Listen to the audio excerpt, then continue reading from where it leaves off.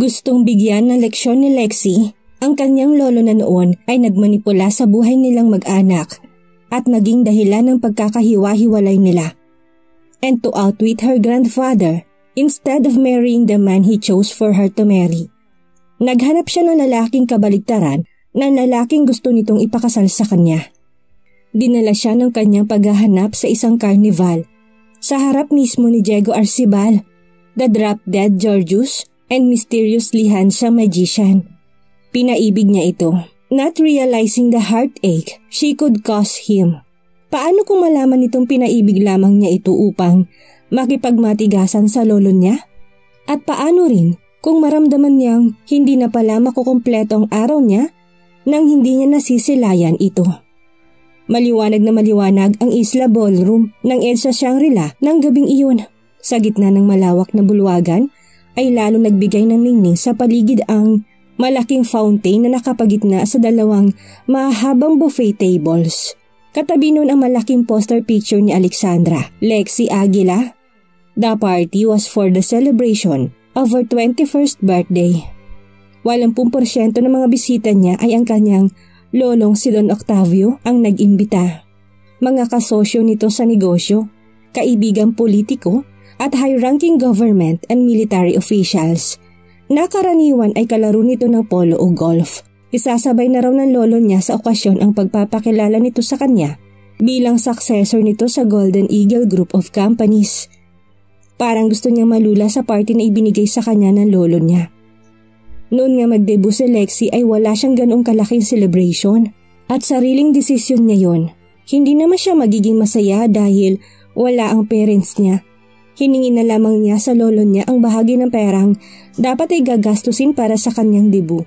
At idinonate niya iyon sa isang orphanage. Hindi nagustuhan yun ng lolo niya. Ano raw ang karapatan niya para itapon ang pera nila sa isang orphanage? Isa lamang iyon sa mga bagay na hindi niya gusto sa kanyang lolo. Mas gusto pa nitong magtapon ng pera sa mga kasino kaysa sa charity. Maya-maya ay nagsalita na si Don Octavio sa microphone.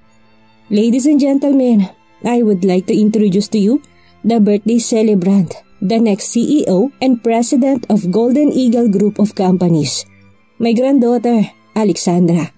She was wearing an aqua blue gown made by no less than Vera Wang. Her escort chosen by his grandfather was beside her. Apo ito na isang banking magnate. Ilang ulit na rin silang nag-date nito at dahil din iyon sa kagustuhan ng lolo niya. Ipinararamdam na sa kanya ng lolo niya na gusto nito si Jason para sa kanya. Muling nagsalita si Don Octavio. And I would also like to take this opportunity to announce her upcoming engagement to Jason Bermudez. Ikinagulat niya ang narinig. Upcoming engagement? Samantalang hindi nga niya boyfriend si Jason. Ano yun? Isa na namang manipulasyon mula sa lolo niya? Napansin siguro ng lolo niya na sumama ang mukha ni Lexi. Lumapit ito sa kanya. Ayusin mo mukha mo Alexandra. Bulong nito sa kanya. Pinilit niyang ngumiti sa kabila ng pangitngit niya. Nang lingunin niya si Jason, ay nakangisi ito. You have no reason to smile because I am not going to marry you. Mahina ngunit mariing sabi ni Lexa rito. Do you have the guts to say no to Don Octavio? Beast, bulong niya. Sabay kalas dito. Nang isama siya ng lolo niya sa pagpapalipat-lipat nito sa mga tables, na kinaroroonan ng mga bisita nito ay pinilit niyang magplaster ng ngiti sa kanyang mga labi. You have a very beautiful granddaughter, Don Octavio, sabi ng isang kalaro nito ng polo na dating ambassador ng Pilipinas sa ibang bansa. Of course, she inherited that good looks from me. Pabirong sagot ng lolo niya sa kausap. And brains too. She graduated cum laude from Ateneo. Dagdag nito sa proud na proud na tono. Hindi pa tapos ang party ay nagdesisyon na si Lexi na umalis. Pagsapit niya sa lobby ay may babaeng sumalubong sa kanya. Matagal na kitang gustong lapitan pero nag-aalala kong malaman ng lolo mo. Bakit ho? Sino ba kayo? Ako si Olivia, ang asawa ng tatay mo. Bahagyan tumaas ang isang kilay niya. Tatay? Pagkatapos ng ilang taong pagpapabaya nito sa kanya, bigla siyang may maririnig tungkol dito. Ma- may pinapaabot kasi sa iyo ang tatay mo. Iniabot sa kanya ng babaeng nagpakilalang Olivia ang plastic bag na hawak nito. Nasilip niyang regalo ang laman noon. Ha?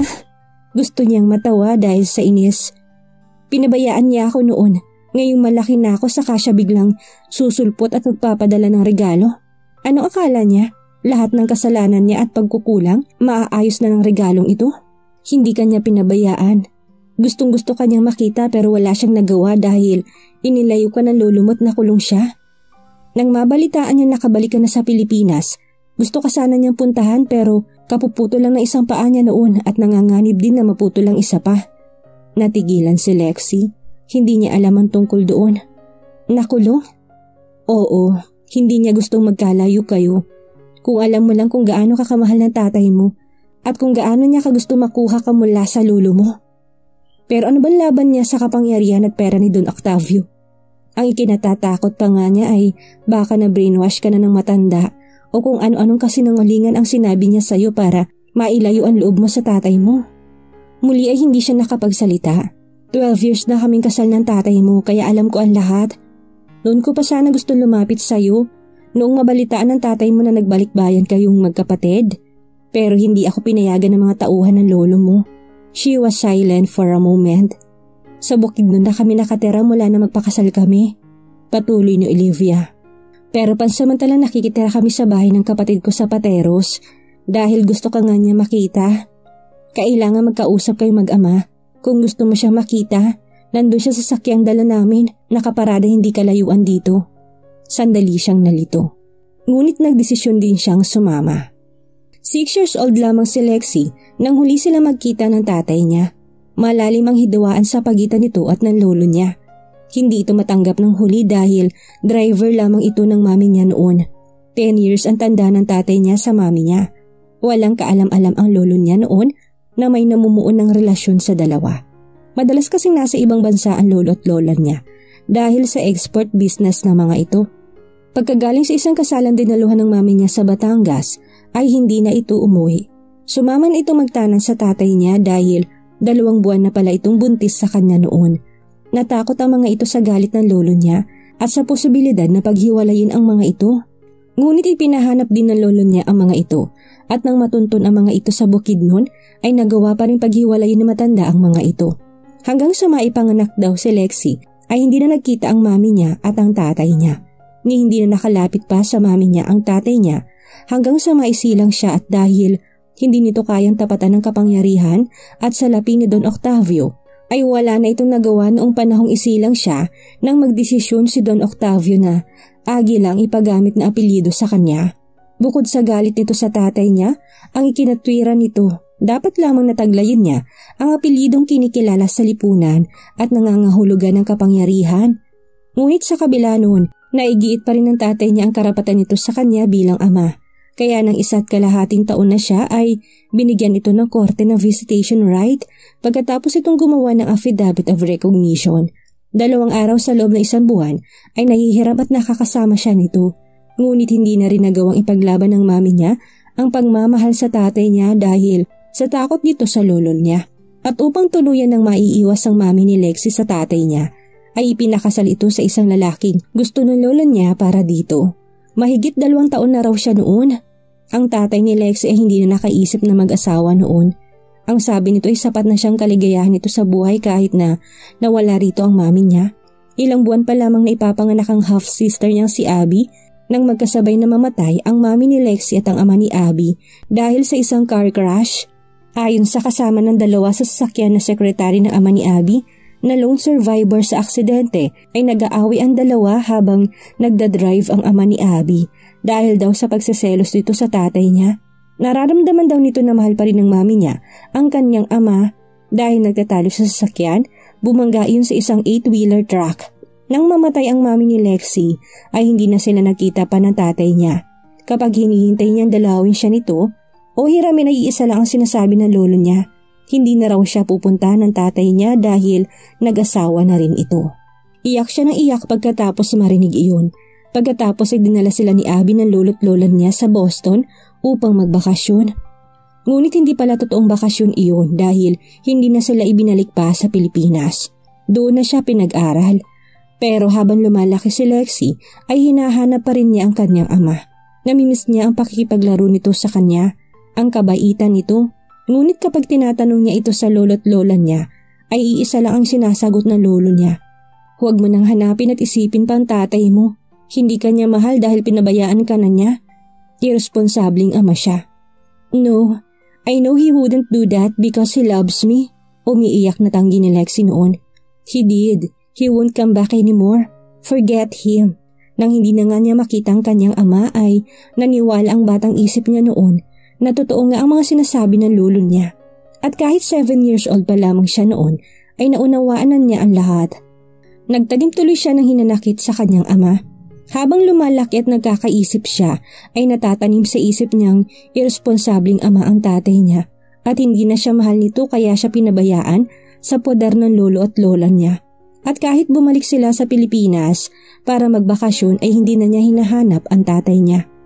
Pagka-graduate niya ng high school ay nagbalik bayan sila ni Abby dahil naging sakitin ang lola niya at mas gusto na raw nitong manatili sa Pilipinas Namatay ito pagkalipas ng isang taon. Ngayon sa kanyang ikadalawamput isang taong kaarawan, muli siyang nagkita ng tatay niya at nalaman niya ang katotohanan. Niyakap siya nito ng matagal at mahigpit. Gusto kitang ipaglaban noon anak, luha ang sabi nito. Pero pagkatapos ng mailibing ang mami mo ay hindi na ako nakalapit sa mansyon. Hindi na pumayag ang lolo mo na magkita tayo. Nang minsan magpilit ako, ipinahuli niya ako sa mga gwardya ng subdivision hanggang sa mabalitaan kong dinala ka na niya sa States. Nagpabalik-balik ako sa Golden Eagle Tower pero sinabi nilang magtatagal si Don Octavio sa Amerika. Pagkalipas ng ilang buwan na tsempuhan ko rin siya, sinabi niya sa akin na hayaan na kita sa kanila. Nagwala ako. Dahil sa sobrang galit ko ay pinagbantaan ko siya. Pagkalipas ng dalawang araw, pinaulan na ng bala ang kotse niya. Nadaplisan ng lolo mo, namatay ang driver niya. Nagulat na lang ako nang damputin ako ng mga pulis. Ako raw ang primary suspect sa pagbaril sa sasakyan ng lolo mo. Nagtaka rin ako nang may matagpo ang baril ang mga pulis sa loob ng bahay ko. Malinaw na frame up yun anak at alam kong lolo mo ang may gawa noon dahil pagkalipas lang ng ilang buwan sinabi niyang iurong niya ang demanda kung pipirma ako sa kasunduang hindi na kita lalapitan. Hindi ako pumayag kaya lalo niya akong inipit at idiniin. Limang taon din ako nakulong ng walang kasalanan. Maganda lang ang records ko kaya nabigyan ako ng parol. Ginamit niya ang pagkakakulong kong iyon para mawalan ako ng karapatan sa iyo. Pagkatapos ay pinagtapat ng tatay niya ay nag-iyakan sila. Ikaw na ang magdesisyon kung gusto mo sa poder ko anak. Hindi ko nga lang kayang ibigay ang klase ng buhay na nakasanayan mo. Sa loob ng maraming taon, puot din ang naramdaman ko para kay Don Octavio. Pero pagkatapos na magkasakit ako, sabi ko, Maisalba lang ang isang binti ko ay patatawarin ko ng taong may kasalanan sa akin. Total hindi na maibabalik ang mga panahong nawala sa ating mag-ama. Diyos nang bahala sa kanya. Iniisip ko na lang bilang konsolasyon. Inilayo ka man niya sa akin, nabigyan ka naman niya ng magandang buhay at napalaki ng maayos. Halos madaling araw na nang bumalik sa Aguila Mansion, si Lexi at ang driver niya, hindi na malaya ni Don ang pagkawala niya dahil naging abala ito sa party sa Shangri-La. Sa buong panahong nasa poder siya ng lolo niya ay hindi siya sumagot o sumuway rito kahit kailan.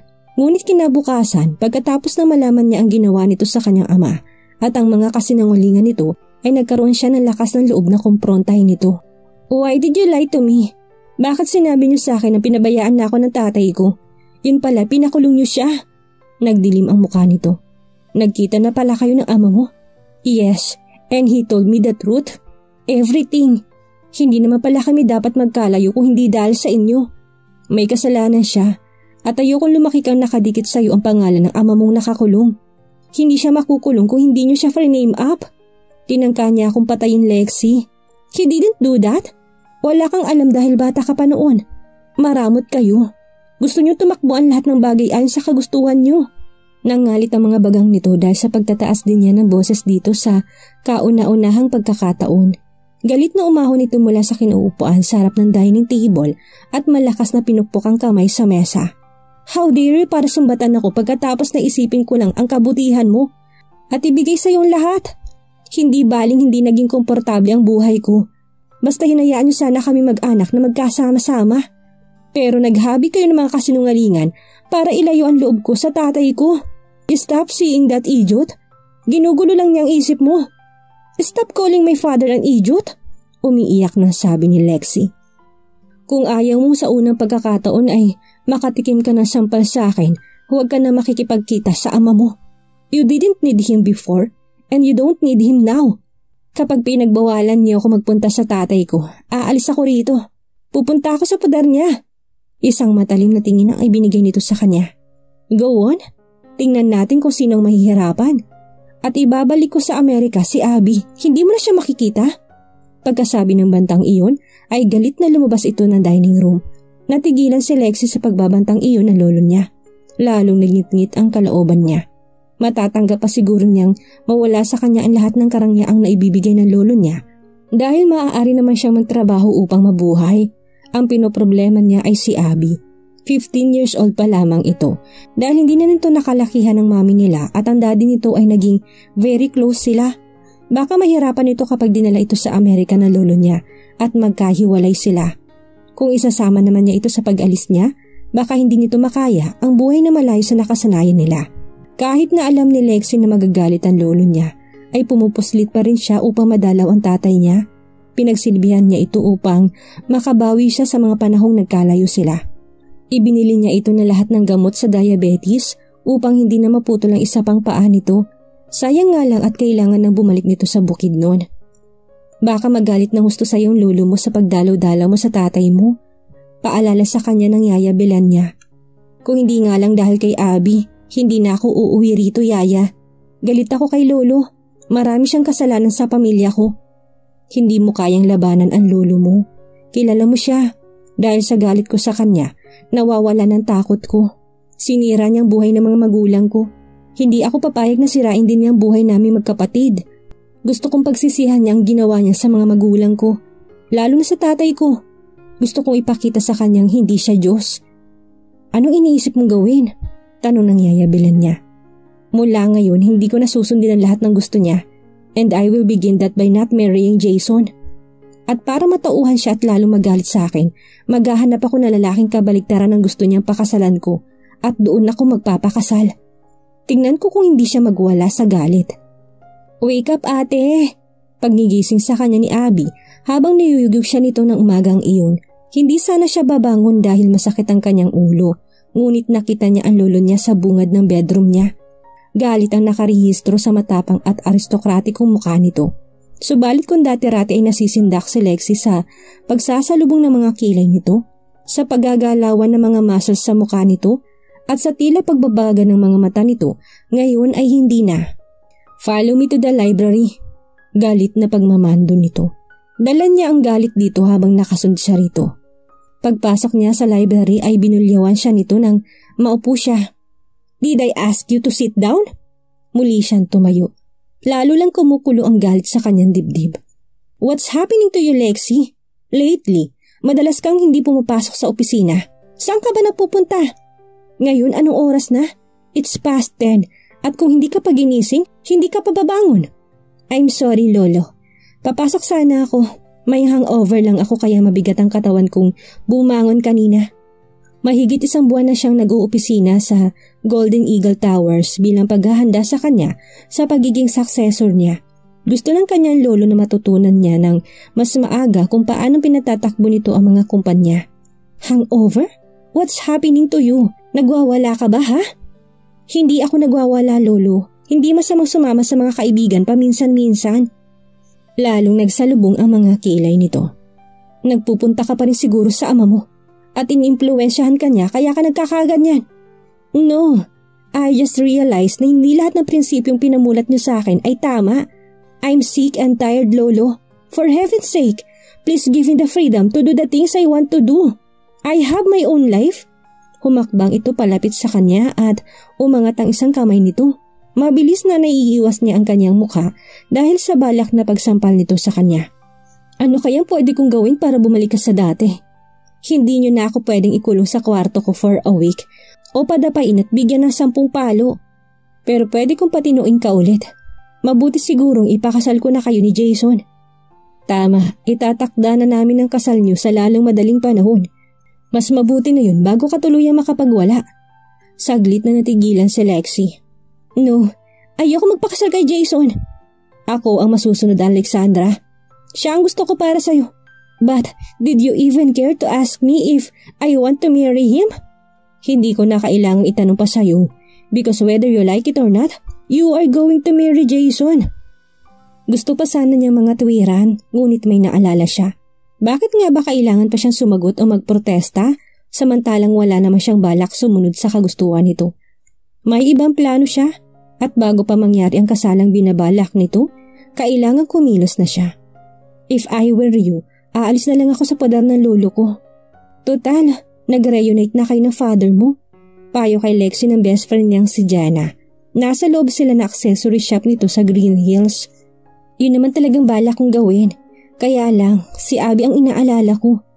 Natatakot naman siyang umalis sa poder ni Lolo. Isa pa, naisip ko, paano ko mabibigyan ng leksyon si Don Octavio kung lalabas ako sa bakuran niya? I won't marry Jason dahil hindi ako papayag na gawin niya sa akin ang ginawa niya kay Mami. Instead, Maghahanap ako ng ibang lalaking pakakasalan. What? Niwala ka ngang boyfriend sa ngayon. Ah.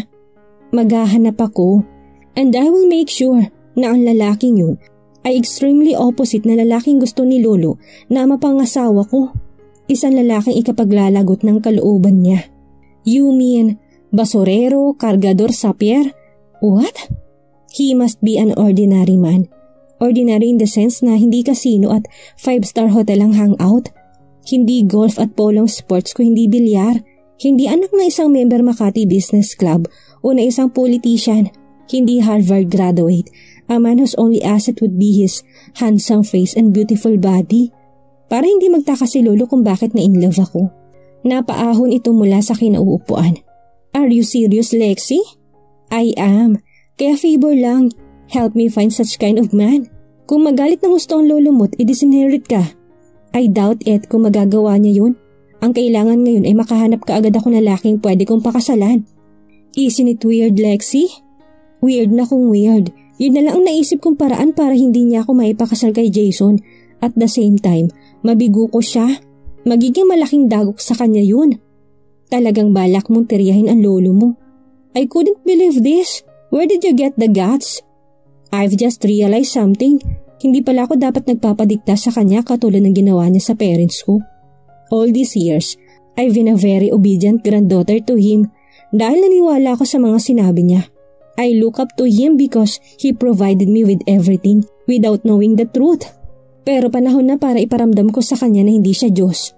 Nakuha ko na pinupunto mo Lexi. Nakakaunawang sabi ni Jana. But let me make things clear. Naghahanap ka ba na lalaking pakakasalan o balak mo lang siyang gamitin sa plano mo against the old man? I don't care if I'm not in love with the man dahil wala sa plano ko may love ngayon. Ang importante ay makasal ako sa iba bago pa ako maipakasal ni Lolo kay Jason at maturuan ko siya ng leksyon. You're willing to marry this ordinary guy. Wag lang si Jason? Yes, I don't like Jason. Mayabang siya. Spoiled brat. Happy-go-lucky. Mas mabuti na magpakasal ako sa lalaking kikilalanin ko lang but at least ako ang pumili kaysa sa lalaking idinikta sa akin. Isa pa, gusto ko magalit sa akin si Lolo. Okay, saan naman tayo maghahanap ng lalaking hinahanap mo? Sa Tondo, sa Payatas, kahit saan Jenna, maghanap tayo ng prospective candidates. Pagkatapos ipapa-background check natin kung mas marami tayong candidates na makukuha, mas okay. From our list, mamimili ako bago ako ma-outwit ni Lolo. Sa loob lamang ng tatlong araw ay dalawa kaagad ang nakuhang prospect ni Jana. Ang una ay mula sa isang slum area sa Navotas. Kakilala ng boy ni Jana sa shop, guwapo at makisig daw ito. Ngunit inalis kaagad ni Lexi sa listahan ang lalaki nang malaman niyang istambay ito at nabubuhay lang dahil sa pakikipagrelasyon sa mga babaeng mayaman. Kahit matrona, basta susustentuhan ang mga pangangailangan nito Dealing with people like him is kinda dangerous. Lalo na kapag nalaman niyang isa akong agila. May makikita pa naman siguro tayong matino. How about us siyang the other prospect? Tanong niya kay Jenna na nagmamaneho. He's from Laguna. Nagtatrabaho sa isang carnival na maganda naman. What? Don't tell me. Taong showcase si prospect number 2. No, he's a magician. Sabi nito. Magician? Yeah, a carnival magician. Inulit-ulit niya sa isip yun. Siya, magpapakasal sa isang carnival magician? Jack na malalagot sa galit ang kanyang lolo. Nang hapon ding iyon ay nagpunta sila ni Jana sa tinutukoy nitong carnival. Napailing si Lexi. Ano ba itong pinagagagawa niya? Kung saan saan na siya dinadala ng kanyang plano. Would she really consider marrying to a carnival magician? Maraming tao sa carnival na makarating sila roon. Hindi niya alam kung dahil Sabado o dahil naghahanap lang talaga ng affordable means of recreation ang mga simpleng tao. Karamihan sa mga naroon ay mag-anak na maliliit pa ang anak. Ang iba naman ay grupo na magbabarkadang naguunahan sa mga rides na hindi niya tsak kung talagang safe. Totally new sa kanya ang paligid. May dalawang naka-costume na clown na nakikipag-high five at picture taking sa mga bata. Naalala tuloy ni Lexi ang unang punta nila ni Abby sa Disneyland sa Amerika. Napalo ito ng kanilang lolo dahil nagpipilit itong makapagpa-picture kasama si Pinocchio ngunit gusto nang umuwi ng lolo nila. Hindi na nito na-enjoy ang karanasang maswerteng bata lamang ang nakakaranas. Naupo sila ni Jenna sa mga siling nakalaan para sa audience na isang mala circus na show. Wala pa ang magpapalabas. Taong kumakain ng apoy o bubog ba ang prospect number 2 mo, Jenna? Usisa ni Lexi sa kaibigang kinawayan ang isang bata naglalako ng snacks. Magician nga, ano ka ba? Anong klaseng magic ang ginagawa niya? Let's just wait and see, okay? Tumahimik na lamang si Lexi at naghintay. Maya-maya ay lumabas sa stage ang isang clown. Gumawa ito ng ilang mababaw na magic tricks na kinagat ng mga bata. Ni hindi siya napangiti. Hindi niya alam kung dahil nababawan siya at naisip niyang bata lamang ang makaka-appreciate ng ganoon o dahil sa sama ng loob na kinikimkim niya ngayon para sa kanyang lolo. Maya-maya ay ipinakilala ng tumatayong MC ang star of the show, si Diego the Magnificent. Natigilan si Lexi na mapagmasdan ang magician. The guy was handsome. Kung hindi siya nagkakamali ay nasa mid-twenties pa lamang ang edad nito. Kahit na may kahabaan ng buhok nitong nakatali sa likod ay hindi maikakailang maamong mukha nito. He had brilliant brown eyes, a straight, elegant nose, and lips that were made for sensual pursuits. Even a cheap and obviously worn out tuxedo, he still looked good. What do you think of him, Lexi, ha? Mahinahong taong Mahinahong tanong ni Jenna sa kanyang kaibigan. Hindi niya inalisan ng tingin si Diego the Magician. How did you discover him? Tanong ni Lexi sa kaibigan. My cousin owns a resort near this place. Minsan ay napunta rito yung ilang staffs niya at narinig niyang pinag-uusapan ng tungkol sa isang cute na magician daw. Pormang artista raw? Hmm, nagkibit siya ng mga balikat habang hindi niya inaalis ang tingin sa lalaking nagsisimula ng mag-magic Nakapagpalabas ito ng kalapati mula sa isang white wicker hat.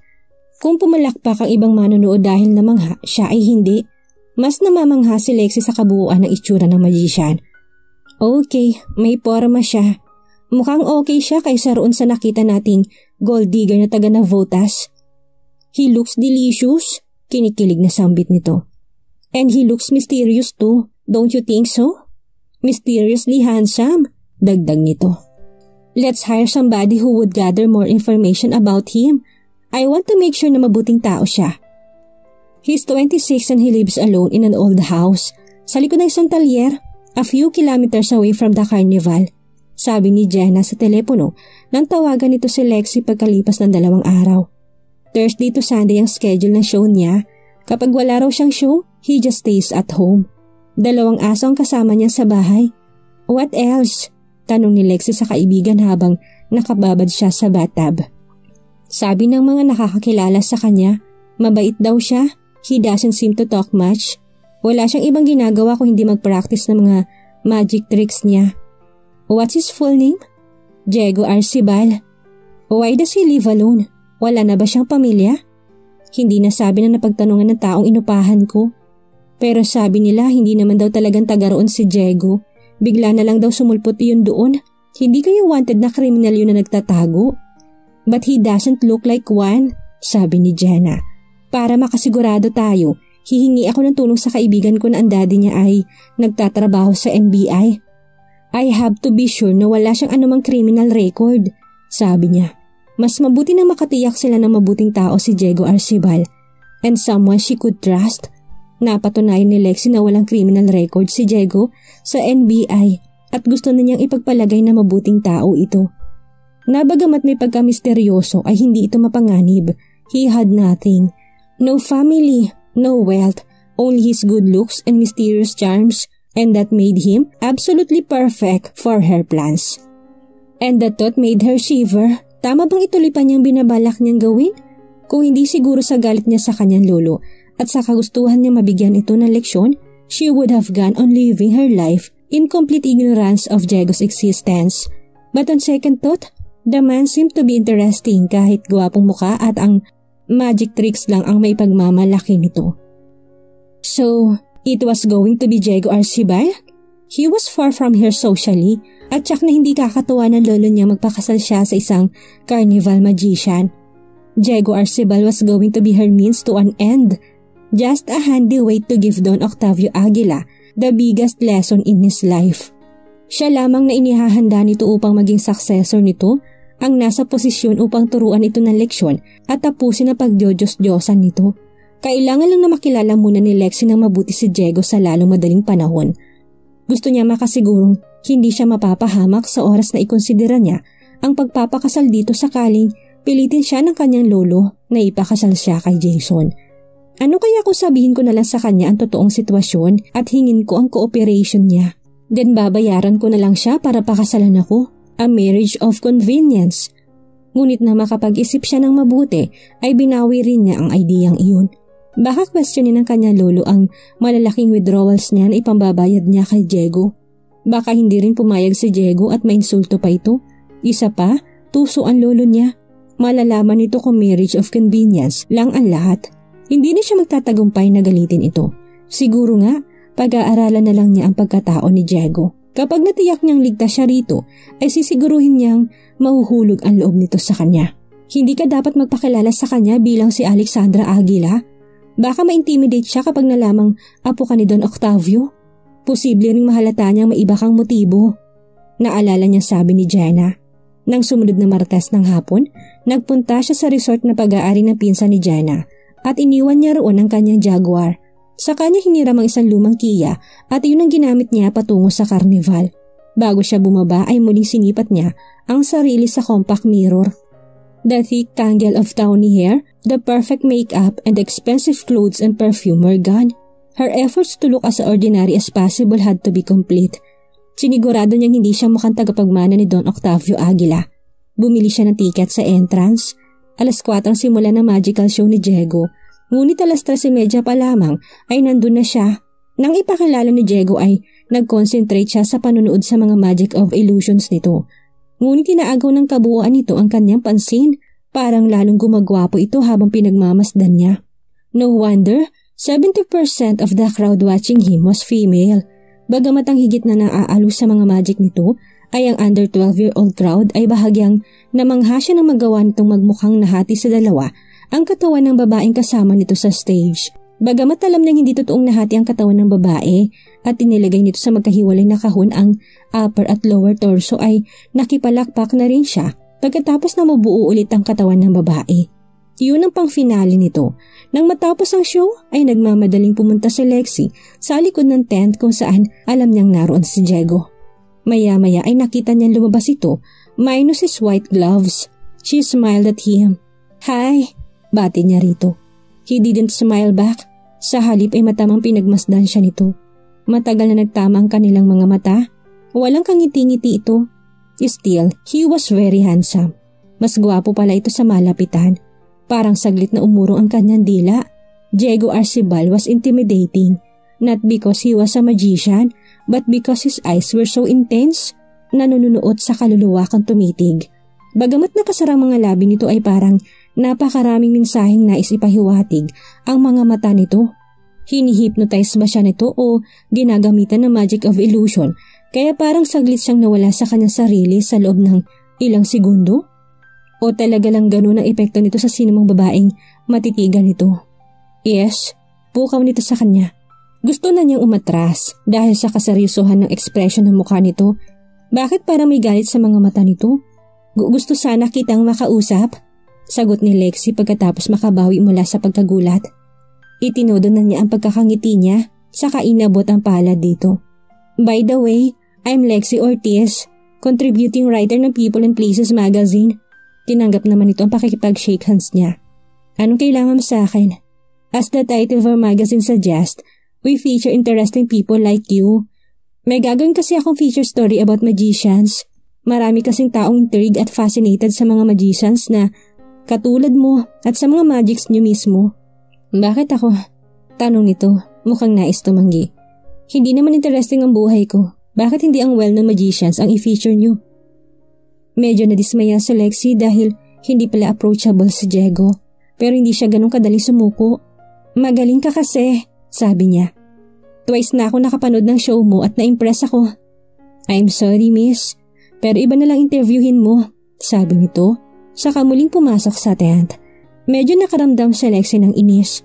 First attempt pa lang niyang makapasok sa mundo nito ay tinanggihan na siya kaagad nito. Napaismid siya. Wala pang taong tumanggi sa kanya. Hiningi pa nga niya ang tulong ng isang kaibigang anak ng publisher ng People and Places magazine upang makapagpanggap siyang contributing writer para lamang magkaroon siya ng dahilang makalapit kay Diego. Ngunit mukhang masasayang lang ang effort niya dahil mailap ito. Simpleng interview lang ang hinihingi niya rito ngunit hindi pa siya pinaunlakan nito. Ngunit hindi siya basta susuko. Ituturing niyang hamon iyon. Naghintay si Lexi sa labas ng tent Pagkalipas ng 20 minutos ay muling lumabas si Diego. Oh, nandiyan ka pa rin. Nagulat na sabi nito. Hindi ako aalis dito hanggat hindi mo ko pinauunlakan. Kahit maikling interview lang. Ganyan ba talaga kakulit ang mga writers na katulad mo? Oo, part ng pagiging resourceful ang pagiging makulit. Kaya hanggat hindi mo ko pinagbibigyan, hindi kita lulubayan. Tuluyan na itong lumabas ng tent, dalang isang malaking backpack. Sumunod siya rito. Wala ka na bang ibang pwedeng ma-interview? Ang dami-daming magicians dito sa Pilipinas ah. Malamig na sabi nito. Ikaw ang una ko nakita eh. Kung itatanong mo lang sa akin kung paano ko ginagawa ang mga magics ko, wala kang mapapalang sagot. Sa mundo namin mga magicians, ang motto namin ay Indulisis privata loci, which means not up to disclose secrets. Kaya sorry talaga miss. Hindi kasama yun sa mga itatanong ko dahil alam kong trade secret yun. Sabi ni Lexi, makumbinsi lamang niya ito. Sorry pa rin. Very private person ako eh. E di focus ko sa mga questions ko sa personality mo bilang magician. Like, how did you become one and if you really enjoy what you are doing and questions like those. Ayoko nga ma-feature sa isang article sa isang magazine. Ganun lang kasimple yun. Sabad nito pagkatapos kawayan ang isang kasamahan nito na tila nagpapaalam na. Papunta sila sa isang direksyong mukhang back exit ng carnival. Okay, hindi ko nababanggitin ang real name mo. Diego the Magnificent na lang. Patuloy na pangungumbinsi ni Lexi habang palabas na sila ng back exit ng carnival. Ayoko magpa-interview, period. Muli ay tinalikuran siya nito. Naglakad na ito papunta sa kalsada kung saan makakakuha ng taxi. Ngunit hindi rin siya tumigil sa pagsunod dito. Nang muling lingunin siya nito ay tumigil ito sa paghakbang. Pwede ba miss? Huwag mo na akong sundan, galit ng sabi nito. Dahil kahit magtumbling-tumbling ka para yan, hindi kita pauunlakan. Huwag mong guluhin ang tahimik kong buhay, okay? Matigas ang pagkakasabi nito noon at dahil ayaw niyang tuluyang magalit o mainis ito sa kanya, ay hindi na siya sumunod pa rito. May ibang araw pa naman. Lunes kinabukasan kaya alam ni Lexi na walang show si Diego. At dahil kumpleto siya sa impormasyon tungkol dito, ay nagsadya na siya sa tinitira nito. Mga tatlong kilometro lamang ang layo nun mula sa carnival. Tahimik ang labas at paligid ng hindi kalakihang bahay. Parang walang tao sa loob, walang doorbell kaya kumatok siya. Nang walang sumagot ay naisip niyang itulak ang gate. Hindi naman pala nakalak yun. Nagulat pa siya nang may sumulpot na isang malaking aso mula sa kung saan isa itong itim na itim na labrador na mukhang susugod sa kanya. The animal's eyes gleamed just inches from hers its white sharp teeth shone. Napatili si Lexi ngunit tindi ng takot niya ay tila na-freeze na siya sa kinatatayuan. Hindi na niya nakuhang kumilos. Napapikit siya dahil ayaw niya makita kung paano siya lalapain na aso. She heard someone shouting commands at the beast somewhere behind her. But the blood pounding in her ears made the command unintelligible. She stumbled backward away. Bigla siyang pumihit upang tumakbo. Ngunit Bumangga ang katawan niya sa solidong katawan na humahangos ding palapit sa kinaroroonan niya. Nang magangat siya ng tingin, ay ang magagandang features ng mukha ni Diego Ang nakita niya na agad na nagpahupa sa takot na nararamdaman niya. Okay ka lang? Tanong nito na nahimigan niya ng pag-aalala sa tono, grasping her shoulders to steady her. He smelled fresh and sweet. Mukhang kalalabas lang nito mula sa banyo. Kung kanina ay takot ang lumukob sa kanyang pagkatao, natabunan yun ang pagka-mesmerize niya kay Diego who was wearing a body-hugging white sando and gray cotton shorts, revealing his beauty psyche na Itinatago lamang pala ng tuxedo costume nito kapag nagsushow. Namumutla ka, aso lang yan, hindi ka kayang lunukin yan. Muling tumahol ang aso. Oh my God! Hintakot na bulalas ni Lexi. Quiet King! Saway ni Diego sa aso. Pagkatapos siyang bitawan nito at harapin naman nito ang hayop. How she wish, hindi na nito binitawan ng mga balikat niya. Dapat pala ay naghimatay-himatayan siya. Get inside! Utos pa nito sa aso. Mabilis namang pumasok ang aso sa loob ng bahay. Oh, wala na si King. Bakit nanginginig ka pa rin sa takot? Puna nito sa kanya. Halos hindi pa rin siya kumikilos. I thought that was my end, sambit ni Lexi na makabawi. Parang wolf yung aso mo. Bakit ka kasi bigla ka nalang sumusulpot? Anong ginagawa mo rito? Hindi ba sinabi ko sa'yo ayaw ko magpa-interview? Saka paano mo natuntuntong tinitirhan ko? Nagsalubong ang kanyang mga kilay sa narinig. Ganyan ka ba tumanggap na bisita? Hindi mo man lang ba ako pauupuin at paiinumin kahit tubig? Bigla ka nalang sumulpot dito, uninvited at unwanted. Pagkatapos mag expect ka ng royal welcome? Natigilan si Lexi. Bakit ba parang allergic ito sa interview? What was the big deal about it? May ere-rekomenda sana ako sa yung magician, pero nagkataong nasa Italy ang kaibigan ko. Sabi pa nito. Bakit kasi pinahihirapan mo pa ako? Ilang katanungan lang naman ang itatanong ko sa'yo. Ano bang pwede kong ibigay sa'yo para pumayag ka lang? Sige, deal tayo. Kapag pumayag ka, ititreat kita ng dinner sa isang fine dining restaurant. Medyo natigilan ito't pinagmasdan siya. Pinanunuyuan siya ng lalamunan dahil sa titig na iyon. Sino naman ang nagbigay sa'yo ng idea na makukuha mo ko sa dinner? W- wala naman. Ba- baka lang kako type mo. Kasi hindi naman sa pagyayabang. Nakapila ang mga lalaki nag invite sa akin for dinner pero hindi ko pinagbibigyan. At privilege pa lang makipag-dinner sa'yo. Sort of. Pero kung ayaw mo ng dinner, anong pwede kong i-offer sa'yo kapalit ng pagpayag mo i-feature kita? Sandaling natahimik ito habang nakatitig sa kanya. Okay, kapag dakay sabi nito. Sige, baka sabihin mo namang napakaramot ko. Saka mukhang hindi mo talaga ako lulubayan hanggat hindi kita pinagbibigyan. Pero hindi dinner ang kailangan ko para pumayag akong i-feature mo sa gagawin mong feature story. Medyo kinabahan siya. A- ano yun? Una, hindi mo babanggitin ang real name ko. At kung kukunan mo man ako, pwede ba yung naka-costume ako't long shot? Okay, sige, no problem, sabi ni Lexi. Pangalawa, iimbitahin mo mga kakilala at kaibigan mo na pumasyal sa carnival na pinagtatrabahuhan ko. Para makilala naman yun kahit kaunti. Maraming taong doon lang umaasa ang kinabubuhay. Ngayong hindi Christmas season, medyo mahina ang kita. Kailangan tumaas ang attendance para hindi ipasara ng may-ari ang carnival. O okay, sige, deal. Pagsang-ayon ni Lexi nang hindi na nag-isip. mag invite ako ng mga kakilala ko. May ngiti na lumitaw sa mga labi nito. That made her heart skip a beat. Ngunit hindi siya nagpahalata. Madali ka naman palang kausap. O sige na, paig na ako sa interview. Thank you! Nakangiting sabi niya sa wakas, lumusot ang first step sa mga plano niya. Ngunit hindi rin niya maiwasang mag-alala dahil kung sa simpleng pabor na hinihingi niya ay hindi niya madaling napasagot si Diego, posibleng mahirapan din siyang paibigin ito. Much more, ang kooperasyon nito upang magpakasal sa kanya for convenience. Sige, tuloy ka sa loob.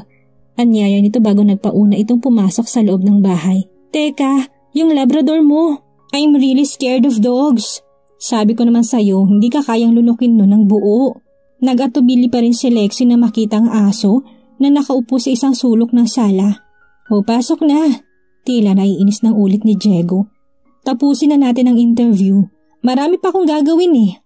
At pumasok na ito sa loob ng bahay. Gusto niyang mapaismid.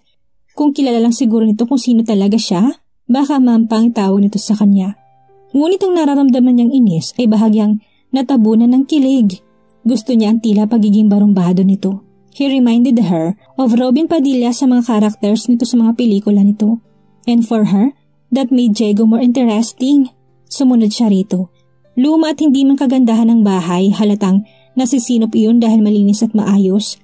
Nagkahalong bato at kahoy ang materialis na bumubuo sa bahay.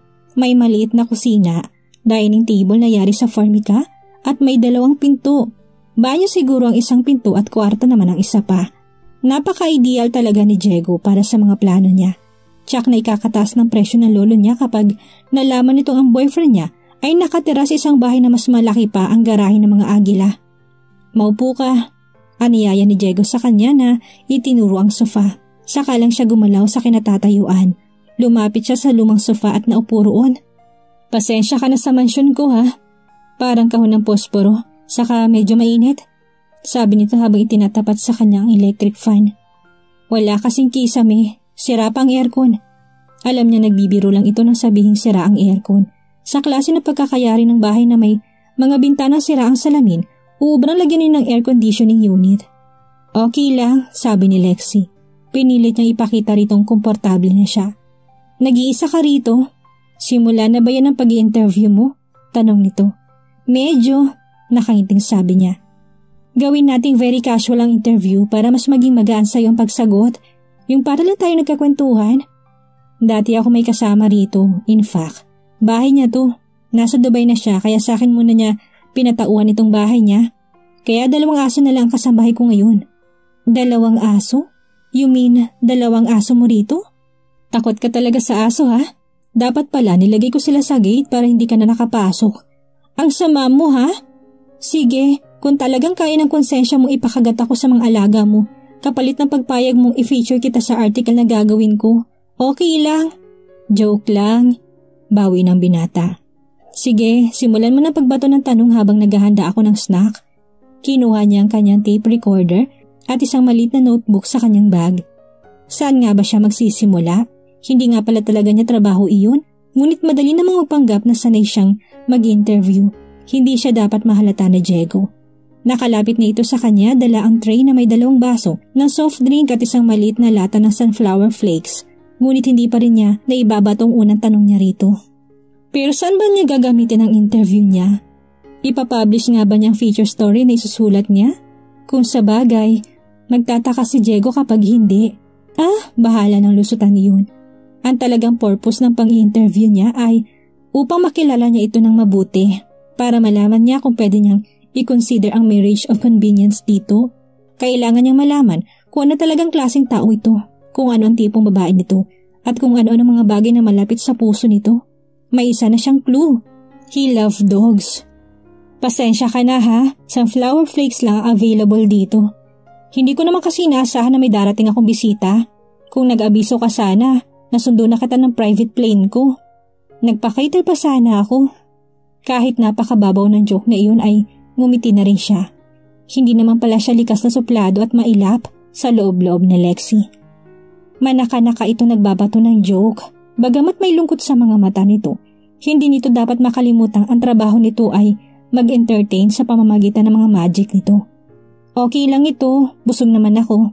She said smiling. Kahit nga cold water lang okay na. Humigop siya ng kaunting coke. Pagkatapos ay inunan niya ang tape recorder Gaano ka nakatagal nagmamagic? Professionally, wala pang one year. Dati hobby ko lang ito. Nakatuwaan ko lang pag-aralan dahil nakita ko sa isang kaibigan. At ang kaibigang ito ang naging instrumento para maging magician ka? Oo, magaling siya. Kung saan sana nga siya dinala ng pagmamagic niya. Naging assistant niya ako ng ilang buwan. Pagkatapos ay nagpaturo na ako sa kanya. Hindi ba mahirap? Akala lang na maraming madali. Pero mahabang panahon din ang kailangan para matutuhan ang mga magical tricks. Kailangan ng maraming practice. Paano mo napapalabas na nahahati ang katawan ng assistant mo sa isang magic mo? It looks real. Amazing. Tricks lang ba yun o totoong gumagamit ng black magic ang mga magicians? Or is it true na hinihypnotize niyo mga manonood para malagay sa isip nila na nakikita nilang gusto niyo makita nila? Teka, teka, sabi nito na Nakataas ang mga kamay sa ere. Ano bang klaseng tanong yan? Hindi ko pwedeng sabihin sa'yo ang trade secret ko. Sikreto yun ng mga magicians. Ay, oo nga pala. Sorry, sabi ni Lexi. Pero alam mo naman na tricks lang ang mga magic, hindi ba? Yun ang sikreto ng mga magicians. kung paano ginagawa ang mga tricks na iyon. Kaya nga ang isang magician ay hindi lang dapat mabilis, kailangan magaling ka rin sa timing. Nakakatulong din para mapaniwala ang audience mo sa galing ng facial expressions. Sa haba ng sinabi ni Diego ay halos walang rumihisto sa kanyang isip. Kapag nakatitig kasi siya sa mga mata nito ay nawawala siya sa focus. Kailangan ding hindi ka magpakita ng uncertainty sa paggawa mo ng magic. Patuloy nito. Ipakita mo sa audience mo na sigurado ka sa magic na ginagawa mo. Na alam na alam mo yun at totoong naging kalapati ang dalawang panyong galing sa isang sombrero. Naubusan na siya ng itatanong. Hindi na niya alam kung anong isusunod. Nawala na si Lexi sa focus. Binuklat niya ang kanyang notebook. Hindi dapat mahalata ni Diego na nangangapa siya. Do you enjoy what you're doing? Tanong niya. Dapat naman ay na-enjoy natin ang trabaho natin, hindi ba? I'm sorry kung kailangan ko itanong ito sa'yo pero bakit itong napili mong trabaho? I mean, with your looks, I'm sure makakakuha ka na mas magandang trabaho. Minamalit mo ang trabaho ko? Hindi naman sa ganoon, kaya lang. Siguro nga malit ang kinikita ko rito pero gusto ko itong ginagawa ko. Hindi naman mababayaran yung kalagiyahang nakikita ko sa mga mukha ng mga taong napapasaya ko. Rewarding na rin matatawag yun dahil nakakapagpasaya ko na ibang tao. Very well said, sabi ni Lexi. Are magicians happy people? Hindi niya inaasahan na magkakalambong ang mukha nito. Ibinaba nito ang tingin sa labrador nito at hinaplos-haplos ang ulo nun. Hindi lahat. Ako masaya ako habang nagsishow pero kapag nag-iisa na ako, hirap na rin akong ngumiti. Ba- bakit? Totoong nararamdaman niyang curiosity. Bakit nga ba nag-iisa ka? If you won't mind may asking. Nasaan ang pamilya mo? Matagal bago ito sumagot. Wala na akong pamilya. I'm sorry to hear that. Kumuha si Lexi ng isang piraso ng flakes at kumagat doon. Saka siya uminom ng kaunting coke. Hanggang kailan mo gustong mag-magic? Pagliliko niya sa topic upang bumalik ang ngiti sa mukha nito. Hanggang may nag enjoy na panoorin ako at hanggang may nakukuha akong satisfaction sa ginagawa ko na baka hindi ko makuha sa ibang trabaho. Kapag nagmamagic ako, nakakalimutan ko mga bagay na nakakapagpabigat sa dibdib ko. Like, sunod na tanong ng dalaga. Ngumiti ito. Noong isang araw lang tayo nagkakilala, gusto mo na malaman ang mga sekreto ko sa buhay? Baka lang ka ako gusto mong mag-unload, sabi ni Lexi. Lahat naman ng kaibigan natin, minsan ay naging stranger sa atin, hindi ba? And besides, sa mga stranger pa tayo mas malayo nakakapagsabi ng nararamdaman natin. Change topic tayo, paiwas na sabi nito. Loner bang mga magicians? Tanong ni Lexi rito. Hindi naman, sa case ko, may mga pagkakataon lang na gusto ko mapag-isa. Wala ka bang special someone na source of inspiration mo? Girlfriend? Wala eh. Mahirap maghanap sa ngayon. Bakit? Good looking ka naman ah. Pero maraming babayang sa bank account na lalaki tumitingin. Itinatanong kung ano ang kaya mong ibigay. Marami kasing kailangan sa buhay ngayon ng mga babae. Lalo na yung mga vain. Uy, hindi ako kasama ron ah. Mabilis na kontra ni Lexi. Maya-maya lang ay kaswal na sila nagkukwentuhan. Hindi mo ba ako pwede sampulan ng isang magic? Hiling niya. Pinagbigyan naman siya nito. Aamin niyang naaliw siya kung paano ito nailipat ang coin na nasa wallet niya patungo sa kanyang bulsa. How did you do that? Amazed na tanong ni Lexi rito. Secret, sabi nito. Ang tawag doon, close-up magic. You know what? Bata pa ako, fascinated na ako sa mga magics Akala ko nga noon, may special power sa mga magicians. Yung isang friend ko, amazed na amazed naman kay David Blaine. Ngayon nakilala kita, parang lalo ako na intriga. Yan ang secrets na magicians lang ang pwedeng makaalam. Kahit ba sa mga girlfriends nyo, hindi niya inire-reveal yung secret na yun? Kung magiging girlfriend kita, baka sakali. Pabirong sagot nito na naghatid ng pananuyo ng kanyang lalamunan. Isang reaksyong hindi na rin niya inaasahan. Kung magiging girlfriend kita, Napangiti siya sa posibilidad na iyon. Nadagdagan ng pag-asa niyang hindi siya mahihirapang paibigin ito. After 20 minutes ay nagpaalam na siya rito at inihatid siya nito sa kanyang sasakyan. Pagsapit ng Sabado ay bumalik si Lexi sa carnival. She had to work double time. Kailangan niya makilala ng mabuti si Diego. Idinahilan niya ritong kukunan niya ito ng ilang long shots habang nagsishow ito para sa feature story niya sa magazine. Nang mapansin siya nito sa audience ay Ginitian siya nito at sinaluduhan. Pagkatapos ng palabas nito, ay agad siya nagpunta sa likod ng tent upang lapitan ito. Niyaya siya nito sa loob ng tent at inalok ng mauupuan. Paano mo nagawang ilipat yung rabbit sa kabilang cage? Sleight of hand o conjuring ang tawag sa ganoong trick. Pero syempre, hindi ko pwedeng i-reveal kung paano nagagawa. Oo nga pala, magicians are not up to disclose secrets. At kailangan maging girlfriend mo muna ako bago mo i-reveal. Pero hindi kita liligawan, wala akong may offer sa iyo eh. Pakitaan mo na lang ako ng magics, okay na? Biro din ni Lexi. Naputo lang pag-uusap nila nang may matanggap itong text message. Mukhang emergency iyon base sa expression ng mukha nito. Matagal itong natahimik. Pagkatapos ay biglang nagpaalam ito. May problema ba? May may tutulong ba ako? Tanong ni Lexi. Wala, salamat na lang. Malungkot na sabi nito. Naintrigang sinundan na lamang niya ito ng tingin nang nagmamadali itong umalis. Hindi bale, ang importante ay napasok na niya ang mundo nito. Binigyan ni Lexi ng tiket sa mga tauhan sa resort na pag-aari ng pinsan ni Jenna bilang pagtupad sa pangako niya kay Diego. Mahigit dalawampung katao rin ang mga yun. Sa opisina naman, nagbigay siya ng libreng tiket para sa mga staff na kumpletong attendance for the last quarter. Kasama ang mga pamipamilya ng mga ito. Kasama pati ang food and transportation.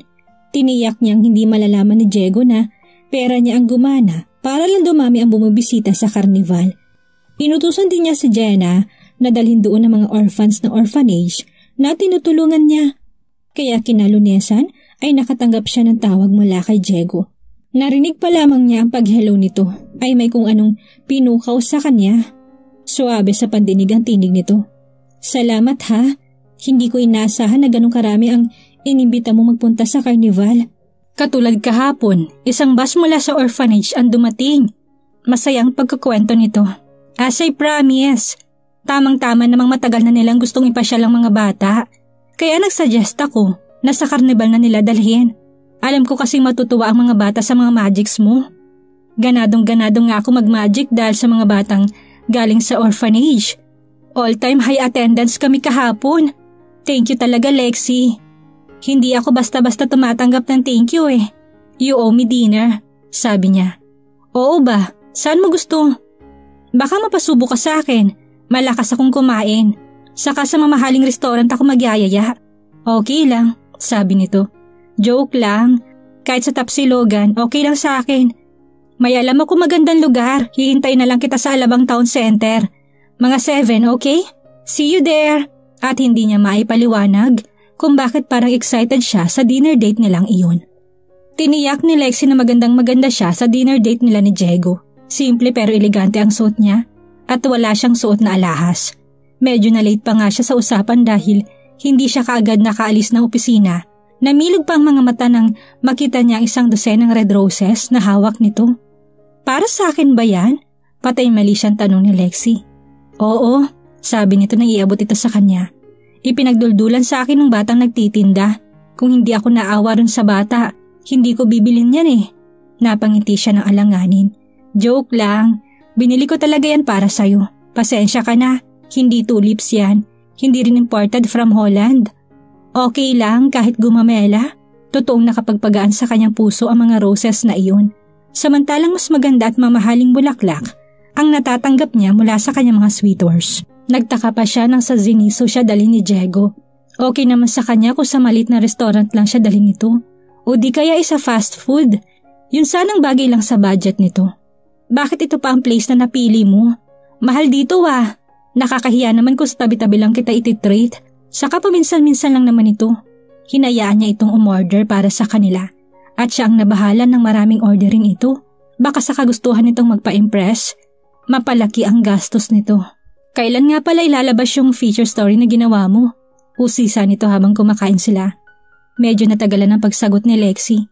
Ah, baka matagalan. Kasi ang gusto ng editor may i-reveal tayo kahit konting secrets kung paano ginagawa ang isang magic. Nagigilty siya kapag gumagawa siya ng kahit malit na kasinungalingan kay Diego. Pakiramdam niya ay dumarami ang kasalanan niya rito. Sinikap na lamang niya matuon sa masarap na pagkain ng usapan. Naging mas maganang conversation nila habang kumakain. Bakit kahit nakangiti ka, parang malungkot ka pa rin? Tanong nito habang nagde-dessert sila. Natigil siya sa pagsubo. Mukha ba? Oo, nakikita ko sa mga mata mo. Tama ako hindi ba? Nahimigan niya ang concern sa tanong na iyon nito. Naaawa lang ako sa father ko, seryosong sabi ni Lexi. Bakit? Ano nangyari sa kanya? Putol ng isang paa niya dahil sa complications ng diabetes. Masasakitin na siya. Natatakot ako isang araw ay mawala siya. Tayo lang din ang gumagawa na ikakalungkot natin. Sa halip na isipin mo mawawala na tatay mo, samantalahin mo na lang ang mga araw na makakasama mo siya. Napangiti siya. Akalain ba niyang kay Diego pa niya maririnig ang inspiring words na tulad nun? Daddy's girl ka siguro. Tila may bumikig na pait sa kanyang lalamunan na nagpaalala sa kanya ng galit niya sa kanyang lolo. Pinaghiwalay kasi kami ng lolo ko noong bata pa ako. Sabi niya habang sa plato nakatuon na tingin niya. Lolo mo? Oo, hindi kasi siya boto sa tatay ko para sa mami ko. Bigla siyang natigilan. Nagbubukas na siya ng laman ng kalooban niya kay Diego ano kaya kung sabihin na rin niya rito ang tunay na sitwasyon? Ngunit nag-alala siyang baka magalit ito kapag nalamang ang galit lamang niya sa kanyang lolo ang dahilan kaya kinailangan niya ito. Mukhang ito pa ang klase na lalaking hindi nagpapagamit. Sayang naman kung ngayon pa siya masisira dito. Wala naman siyang balak na magsinungaling dito sa matagal na panahon.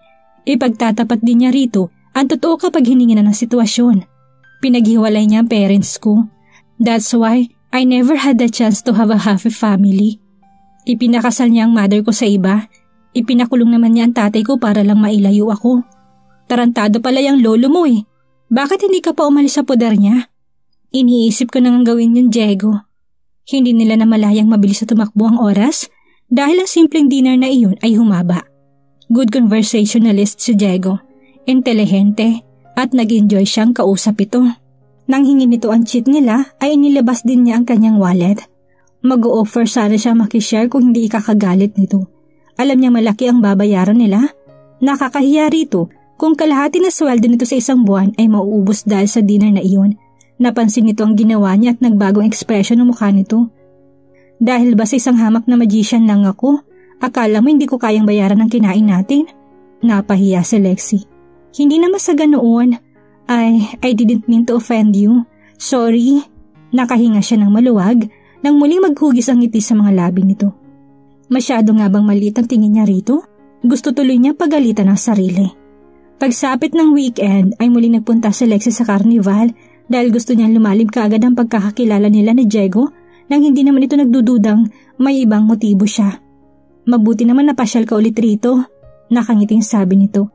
Actually, may sadya ako sa iyo kaya napunta ako rito.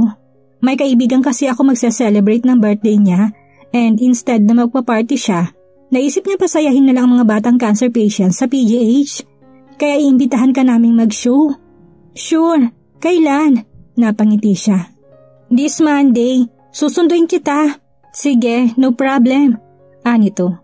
Niyaya siya nito mag-snack sa favorite snack bar nito bago sila naghiwalay. Hindi naman totoong birthday ni Jenna, ngunit yun ang unang pumasok sa isip ni Lexi ng gamiting dahilan upang makagawa siya ng paraan na magkasama sila ni Diego at makilala pa ito ng mabuti. Ako na magdadrive, presinta nito. Ilang oras din ang biyahe papunta sa Maynila. O sige, basta ba may unexpired license ka eh. On their way to Manila, ang topic nila ay ang tungkol sa mga bata sa cancer ward ng PGH. Saludo rin ako sa kaibigan mo, sabi nito. Hindi lahat ng taong pinagpala ay marunong mag-share ng blessings sa iba. Actually, na-impluensyahan ko lang yun. Ako kasi, na minsang mahingan kami ng tulong ng mga kaibigan ko para sa Share a Home Project. Bigla ako naging aware sa pangangailangan ng mga batang yun. Kaya naisip namin ng mga friends ko na gawing regular ang pagtulong kahit sa maliit na paraan lang. Swerte ang boyfriend mo. Beauty, brains and good heart. Meron kang lahat. Nag-init ang kanya mga pisngi. May tantrums din ako. Ikaw na nga nagsabi, makulit ako. Pabirong sabi na lamang ni Lexi.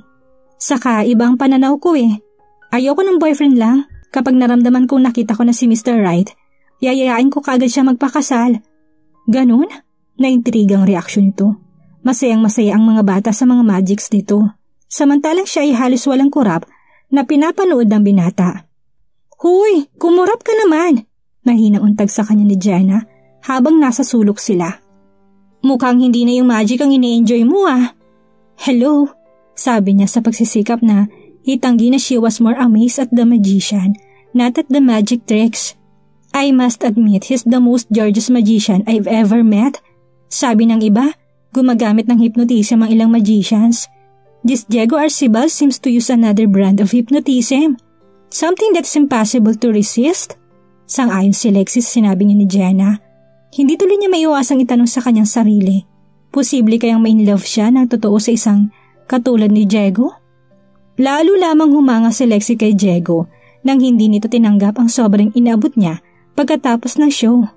Binabayaran mo ko? Tanong nito. O oo, para sa serbisyo mo. Napasaya mo mga bata. Sa palagay mo ba hindi ko kayang mag-show for charity? Hindi ka agad siya nakasagot. Well, what can I say? E di marami salamat na lang on behalf of the kids. Walang kaso yun. Salamat din sa chance na ibinigay niyo sa akin para magamit ang nalalaman ko para makapagpasaya ng mga batang may cancer. Kasama mo ko pagdating sa bagay na yun. She was really beginning to like him. He seemed to be perfect for her plans. What's up? Pangungumusta ni Jenna sa kanya. Kausap ni Lexi ang kaibigan niya habang nasa opisina siya. I think he's perfect for my plans. Nung una mailap siya, pero okay naman pala siya sa oras na makilala mo na siya.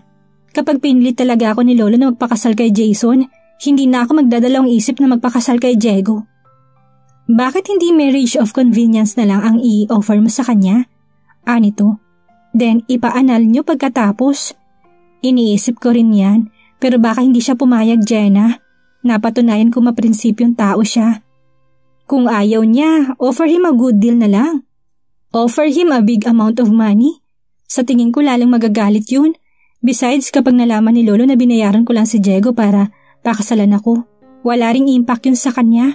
Pagtatawa na lang niya ako. Eh anong plano mo? Kung mukhang hindi uubra ang marriage of convenience, paano mo siya makukumbinsing pakasalan ka?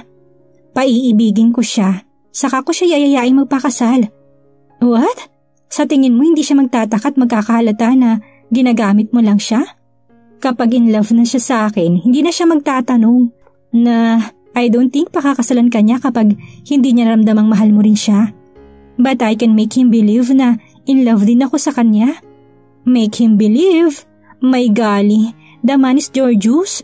He's the sexiest man I've ever seen.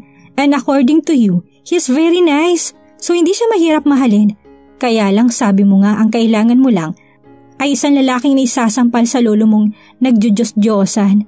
I'm sure ayaw mo magkaroon ng totoong relasyon sa isang carnival magician. Diego's a good person. I feel comfortable and safe with him. Kahit wala akong feelings sa kanya, mas gugustuhin ko na magpakasal sa kanya kaysa sa kahit na sinong lalaking gusto ni Lolo. Si Alexandra Aguila, heiress and successor of Don Octavio Aguila, magpapakasal sa isang magician? Napailing si Jenna. Kokontrahin sana niya ang huling sinabi nito. Ngunit naisip ni Lexi, mas maraming importanteng bagay na kailangan siyang gawin bago niya harapin ang kanyang problemang pampuso. Hi, sweetie! Napakunot ang noon ni Lexi nang makita niya si Jason sa bungad ng opisina niya. What are you doing here? Tanong niya rito. May dinner sa bahay, remember? Pag-uusapan na natin ang mga details ng kasal. Tutuloy na sa bahay ang lolo mo. Natigilan siya. Mukhang tuloy ang plano ng kanyang lolo at kumikilos na ito. Tinitigan niya si Jason.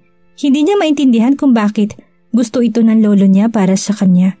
Maliban sa pagiging anak mayaman nito, wala na siyang makitang dahilan para magustuhan niya ito. Bukod sa alam niyang happy-go-lucky ito, pakaramdam din niya ay palagi siyang hinuhubaran nito sa mga tingin nito sa kanya. Kayo-kayo na lang ang mag-usap tungkol sa wedding na sinasabi niyo. Total kayo lang naman ang may gusto noon. Umasim ang mukha nito. Sige lang Lexi, you'll be mine anyway. At ngising-ngising lumabas ito sa kanyang opisina. Bastard! Kayo ni Don Octavio Aguilang magpakasal. Natagpuan ni Lexi ang sarili sa carnival. Inalis niya ang nararamdamang inis sa pamamagitan ng panunod sa mga bagong magic tricks ni Diego. Pwede mo bang gawin sa akin ang ginawa mo sa assistant mo? Aniya rito. Gusto ko lang itry at tingnan kung paano mo siya napapalutang sa hangin. Okay, kung talagang gusto mo. Sa likod ng tent sinubukan ni Diego na gamitin sa kanya ang magic of illusions nito. Medyo kinakabahan siya ngunit nawawalain kapag napagmamasdan niya ito. Pinahiga siya nito sa table na ginagamit nito. May hawak itong tila hula hoop. Relax, tumingin ka lang sa akin. Utos nito. Habang nakahiga siya sa table ay tumitig nga siya ng tuwid sa mga mata nito.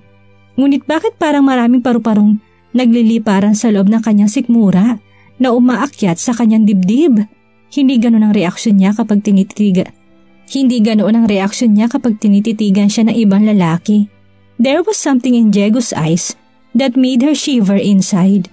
Pabilis ng pabilis ang tibok ng kanyang puso habang parang hinihigop nito ang kamalayan niya. Hindi niya tsak kung literal na hinihipnotismo siya nito o bahagi yun ng magic trick. Wala na siyang pakialam sa magic. Basta hinihigop siya ng kapangyarihan ng mga mata nito. Para bang kahit utusan siya nitong maghubad sa harap nito ay susunod siya. Hindi niya namalayang Parang naidlip siya at sa isang pitik na mga daliri nito ay napadilat si Lexi. Nakahiga pa rin siya sa table. Pagkatapos noon ay niyaya siya nito na mag-snack. Dahil nalibang siya sa company nito ay hindi na niya namalaya na paglipas ng mga oras. Pasado alas 7 na na magpresenta uli itong ipag-drive siya hanggang Alabang at doon na sila naghiwalay. Pinagalitan na naman si Lexi ng lolo niya dahil sa hindi niya pagdalo sa dinner sa bahay ng mga Bermudez at dahil sa hindi regular na pagpasok niya sa opisina. Somebody told me na madalas kang magpunta sa Laguna. Galit na sabi nito. Nandun bang ama mo? No, bumalik na siya sa bukid nun. Mukhang nawawala ang focus mo sa trabaho mo, Lexi. Ano bang ibang pinagkakabalahan mo? Kailangan pa naman kita sa kumpanya ngayon. Gusto kong ikaw ang umayos ng problema sa opisina sa Sydney. Pupunta ka roon next week. Sydney? Maang na tanong niya. But why me lolo? Sino bang inihahanda ko para maging successor ko? Napaisip si Lexi. Nagbabago na ba ang plano ng lolo niya? Hindi na ba tuloy ang balak nitong ipakasal siya kay Jason? Ngunit bigla siyang kinutubahan. Alam niya kung paano ang lolo niya at nag-aalala siyang baka may binabalak ito. Nakumpirma ni Lexi ang kanyang hinala. Nalaman niyang nakabook din patungo sa Sydney si Jason at ang pamilya nito. Posibleng kaya siya pinapupunta ng lolo niya sa Sydney ay doon sila ipapakasal ni Jason upang hindi na siya makatanggi. She had to outwit her lolo bago mangyari ang gusto nito. Nagulat pa si Diego na mapagbuksan siya nito isang umaga. Oh, naligaw ka, sabi nito sa siya pinapasok. Iayayain sana kita sa Puerto Villa Ignacio. Wala nang ligoy na sabi niya rito. Ako? Sa Puerto Villa Ignacio? Maang naulit nito. Ba baka lang ka kung type mo rin mag-unwind katulad ko. Wa wala ka namang show sa carnival hanggang Wednesday, hindi ba? Hindi ito sumagot. Bigla ay parang gustong bawiin ni Lexi ang sinabi niya. Baka kasi magtaka ito kung bakit ito ang iniimbita niyang sumama sa ganong ka-espesyal na lugar. Pero kung hindi ka pwede ay okay lang, dagdag niya. Bakit hindi mo yayain mga friends mo? Puro busy sila eh. May problema ka ba, Lexi? Nanguhuling tanong nito. Ma- may kaunting problema sa bahay, sabi niya. Paano ba niya sasabihin dito ang tunay na sitwasyon nang hindi nito mahalatang kailangan lamang niya ito para galitin at bigyan ng leksyon ng lolo niya? Palabas na siya ng gate nang maramdaman niya nakasunod si Diego sa kanya. Sandali Lexi, pigil nito sa kanya. Nilingon niya ito bago pa siya makalabas ng gate. Hindi maganda para sa babaeng katulad mo na ikaw lang ang pupunta sa lugar na katulad ng Puerto Villa Ignacio. Napangiti siya. Halos sugurin niya ito ng yakap. Thank you, aniya rito. Napahiya siya na mapatingin ito sa kaminyang nasa dibdib nito. Nang araw ding iyon ay nagtuloy sila sa Puerto Villa Ignacio. Alam ko hindi ka magyaya sa Puerto Villa Ignacio kung wala ka mabigat na problema, sabi ni Diego habang sakay sila ng ferry boat patungo sa island. Napapagod na ako sa pagmamanipulate ng lolo ko. Umalis ka na sa poder ng lolo mo? Oo, kahit hindi ko alam kung saan ako pupunta, sabi niya. Itong Villa Ignacio kaagad ang naisip ko. Hindi ko sasabihing tama ang ginawa mo, pero lalong hindi ko sasabihing mali. Bakit ba nagjojos-josa ng lolo mo? Sino ba siya sa akala niya para palaging sundin? Hindi siya kumibo. Anong plano mo? Babalik ka sa father side mo? Saka na siguro. Sa sitwasyon niya ngayon, ayoko maging dagdag pa sa bigat nila. I guess, I have to start on my own. Hindi bali ng mahirap. Basta walang magmamanipula sa buhay ko. Magkatabi ang mga suits nila ni Diego sa hotel. Naglunch ka agad sila dahil pasado lunchtime na nang dumating sila sa island resort. Pagkatapos ay nag-sightseeing sila. Lexi had been to the island once, ngunit hindi naman niya na-enjoy ang bakasyong iyon dahil kasama niya ang kanyang lolo at ang pamilya ni Jason. Ngayon lamang niya higit na na-appreciate ang kagandahan ng isla. It was a paradise indeed. Malapulbos ang beach sand asul na asul ang tubig dagat na kumikinang sa sikat ng araw at ang tropical forest sa isang bahagi ng isla na lalo pang pinaganda ng man-made architectural designs and landscaping. Napakaganda, everything she saw was breathtaking. Pagkatapos na lang mag-sightseeing ay nanood sila ng polo sa isang bahagi ng island resort. Nagiging paboritong venue ng mga malalaking polo games ang Puerto Villa Ignacio Ngunit hindi niya inaasahan na ganun ka-enthusiastic si Diego sa sport na mas kilala ng mga taong may billion sa bank account at mga royalties sa iba't ibang bahagi ng mundo. Hinayaan lamang niya si Diego na i-enjoy ang panonood ng game. Pagkatapos nun ay saka sila nagdesisyong mag-swimming. Halos lubog na ang araw kaya hindi na mainit. They had fun. Para silang mga batang matagal na kulong na noon lamang nakalaya. Napabuntong hininga siya nang muling masilayan niya ang broad shoulders at perfect abs ni Diego. Nahuhuli rin niya ang madalas na pagtitig nito sa kanya kapag umaahon sila sa tubig. Why, hindi ba bagay sa akin ang swimsuit ko? Naitanong tuloy niya rito. No, you have a perfect body. Bigla ko lang naalala si Cameron Diaz sa Charlie's Angels. Mas sexy ako doon, pabirong sabi ni Lexi. I-try natin ang pagsisailing tomorrow? Suggestion niya. Parang mas masarap ang wakeboarding, sabi naman ito. Mahirap yatang magbalance sa tubig. Madali lang, subukan mo. Natitiyak ko mag enjoy ka. By the way, saan tayo magdi-dinner tonight? May floating restaurant dito. Seafoods daw ang specialty nila. Parang okay yung idea na mag-dinner doon, di ba? Mga lovers, honeymooners, long-time couples at mag-sweethearts ang karamihan sa mga nakasabay nilang nag-dinner sa floating restaurant na tila isang open ferry boat na mabagal na naglilibot sa lake na nasa pagitan ng main island ng Puerto Villa Ignacio at ng mga island na malapit at sakop ng resort. Pakiramdam tuloy ni Lexi ay puno ng air of romance ang buong floating restaurant na out of place tuloy sila ni Diego. Habang kumakain sila hindi niya maiwasang pagmasdan ito na nakatuon ng mga mata nito sa pagkain. Gusto niyang mainggit sa mga parehang nakapaligid sa kanila. Ipinaghimay siya nito ng alimango at ipinagbalat ng sugpo. She was really beginning to like him. Pakaramdam niya ay nakakalimutan ni Lexi ang galit niya sa kanyang lolo at ang iba pang problema niya kapag kausap niya ito. Gusto tuloy niya mag-guilty at magalit sa sarili niya. Walang kamalay-malay ito sa mga plano niya. Samantalang alam niyang totoo ito sa kanya. Alam niyang hindi siya mahihirapang paibigin ito at kapag nangyari na yun, Pwede na niya itong yayaing magpakasal. Para na niya nakikinikinita kung paano magwawala sa galit ang lolo niya. Posibleng itakwil siya nito. Bagamat may pangamba, handa na rin si Lexi.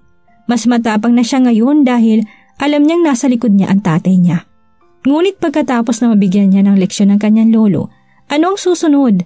Paano na si Diego? Tsak na magagalit ito kapag nalamang kinailangan lamang niya ito dahil sa plano niya laban sa kanyang lolo. Kung pag-aralan ko na lang kaya siyang mahalin, naisip niya. Alam niyang hindi ito mahirap mahalin. Ah, saka na nga niya poproblemahin ang tungkol doon. Ang sweet naman, sabi niya rito. Hindi mo na kailangan ipagbalat ako ng sugpo at ipaghimay ng alimango. Okay lang, anito. Libre mo naman itong bakasyong ito. Kaya lang nakakapanghinayang dahil 3 days lang tayong pwede magstay rito. Pagbalik ko ba sa Laguna, aalis ka na rin dito? Wala na akong kasama eh, sagot niya. Sayang, hindi kita pwedeng samahan ng matagal sa pag-stay mo rito. Saan ka naman pupunta kung aalis ka na rito? Sa tatay ko sana? Pero madali ako matitrace ng lolo ko. Wala ka bang kaibigan na pwedeng pagstayan? Tsak na iisa-isahin niya mga kaibigan ko hanggang sa matuntun niya ako. Kung gusto mo, ihahanap kita ng apartment na malapit sa bahay ko. Suggestion ito. Sige, please do. I will appreciate it very much. Pero hanggang kailan ka magtatago sa lolo mo? Hanggang sa magagawa ko. Hingin mo na lang kaya sa kanyang kalayaan mo. For sure, hindi papayag yun.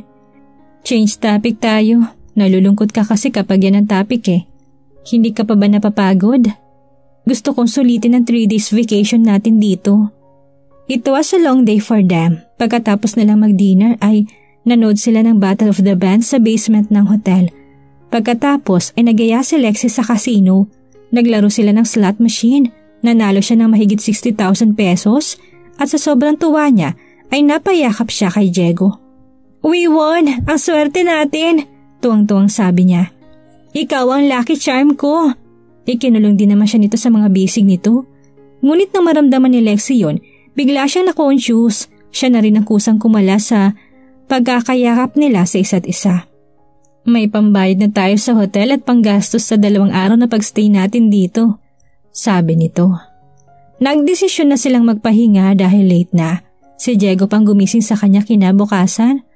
Ang aga mo namang mambulahaw, nakangiting sabi ni Lexi sa binata nang pagbuksan niya ito.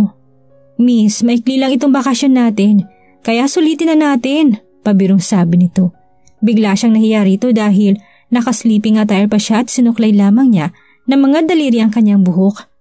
Pasensya na, early riser itong isinama mo rito eh. Sige na po, magsha-shower lang ako, Nangingiting sabi ni Lexa rito. Pwede bang dyan na ako maghintay sa loob ng suite mo para mas magmadali ka? Ikaw talaga? Naiiling na sabi niya rito. Sige na nga, gaano ka ba katagal magsha-shower? Tanong nito nang pumasok sa loob. Depende. Kung may kasama akong apurado, mga 15 minutes.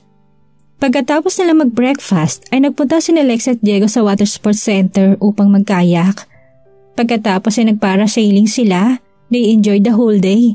Nang kapo mapagod sila sa dami ng activities nila ng araw na iyon, ay nag-stargazing na lamang sila sa rooftop ng Palms and Spring Hotel o murder sila ng wine. Diego, curious lang ako. Bakit nga wala kang girlfriend? Tanong ni Lexi sa binata. Nakasanla na kay Cameron Diaz ang puso ko. Biro nito. Seriously speaking, seryosong sabi niya. Wala pa akong ipagmamalaki eh. But you can offer your good heart, your love. Nang mapunta sa kanyang muka ang ilang hibla ng kanyang buhok, dahil sa likas na hangin ay ito ang humawi nun. Nagdait ang kanilang mga kamay dahil balak niyang hawiin din ang mga iyon. Kapwa na tahimik sila. Mga mata lamang nila ang nag-uusap. Ang ganda pala ng mga mata mo kapag kuway sambit nito. Compliment iyon na nagpabilis ng pulse rate niya. Ikaw rin, sabi na lang ni Lexi. Pero mas cute ka siguro kung gugupitan niya buhok mo saka alisin mo yung balbas mo. Kahit bagay sa'yo, mas gusto ko pa rin sagay yung clean cut. Maraming Hollywood actors ang nagtatry ng ganitong look. Tayo din naman akong tingnan, hindi ba? Sa bagay, pero isang araw, gusto pa rin kitang makita minus the long hair and the beard. Good night, sabi ni Diego bago sila pumasok ng magkatabing suites nila Nakatalikod na ito hindi pa rin umaalis si Lexi sa may pinto ng suite niya. Kaya nang muli siyang lingunin nito ay nagtama ang kanilang mga tingin. Muling lumapit ito sa kanya. Thank you Lexi. Para saan? Sa friendship na ino-offer mo. Matagal-tagal na rin pinaikot ko lang ang buhay ko sa carnival. Wala akong ibang kaibigan kung hindi mga aso ko at mga kasama ko sa carnival. Parang napakalit lang ng mundong ginagalawan ko. Pero ngayon ay parang may nagbago dahil sa'yo. Alam niya totoo sa puso nitong sinasabing iyon. Pasensya na ha, bigla ako naging corny. Pagkatapos niyang iwanan nito ng ngiti ay tumalikod na uli ito. Napangiti si Lexi habang nakasunod ang tingin niya rito. Salamat din sa friendship mo, Diego. Sa isip-isip niya. Ginugol ni na Lexi at Diego ang huling araw nila sa Puerto Villa Ignacio sa pagsiswimming at pag-horseback riding. Bago lumubog ang araw ay nagpunta sila sa spa Kinagabihan, they just had wine. Sa loob ng tatlong araw, masaya ako dahil wala akong ibang iniisip kundi ang mag-enjoy na parang batang walang problema, sabi ni Diego. Nakalimutan ko lahat ng sama ng loob ko. Sama ng loob kanino? Curious na tanong ni Lexi rito. Ah, never mind. Paiwas na sagot nito. Andaya mo? Nagtatampong sumbat ni Lexi rito. Kahit kailan hindi ka nag-open up sa akin, may bahagi pa rin ng pagkatao mo na nakatago.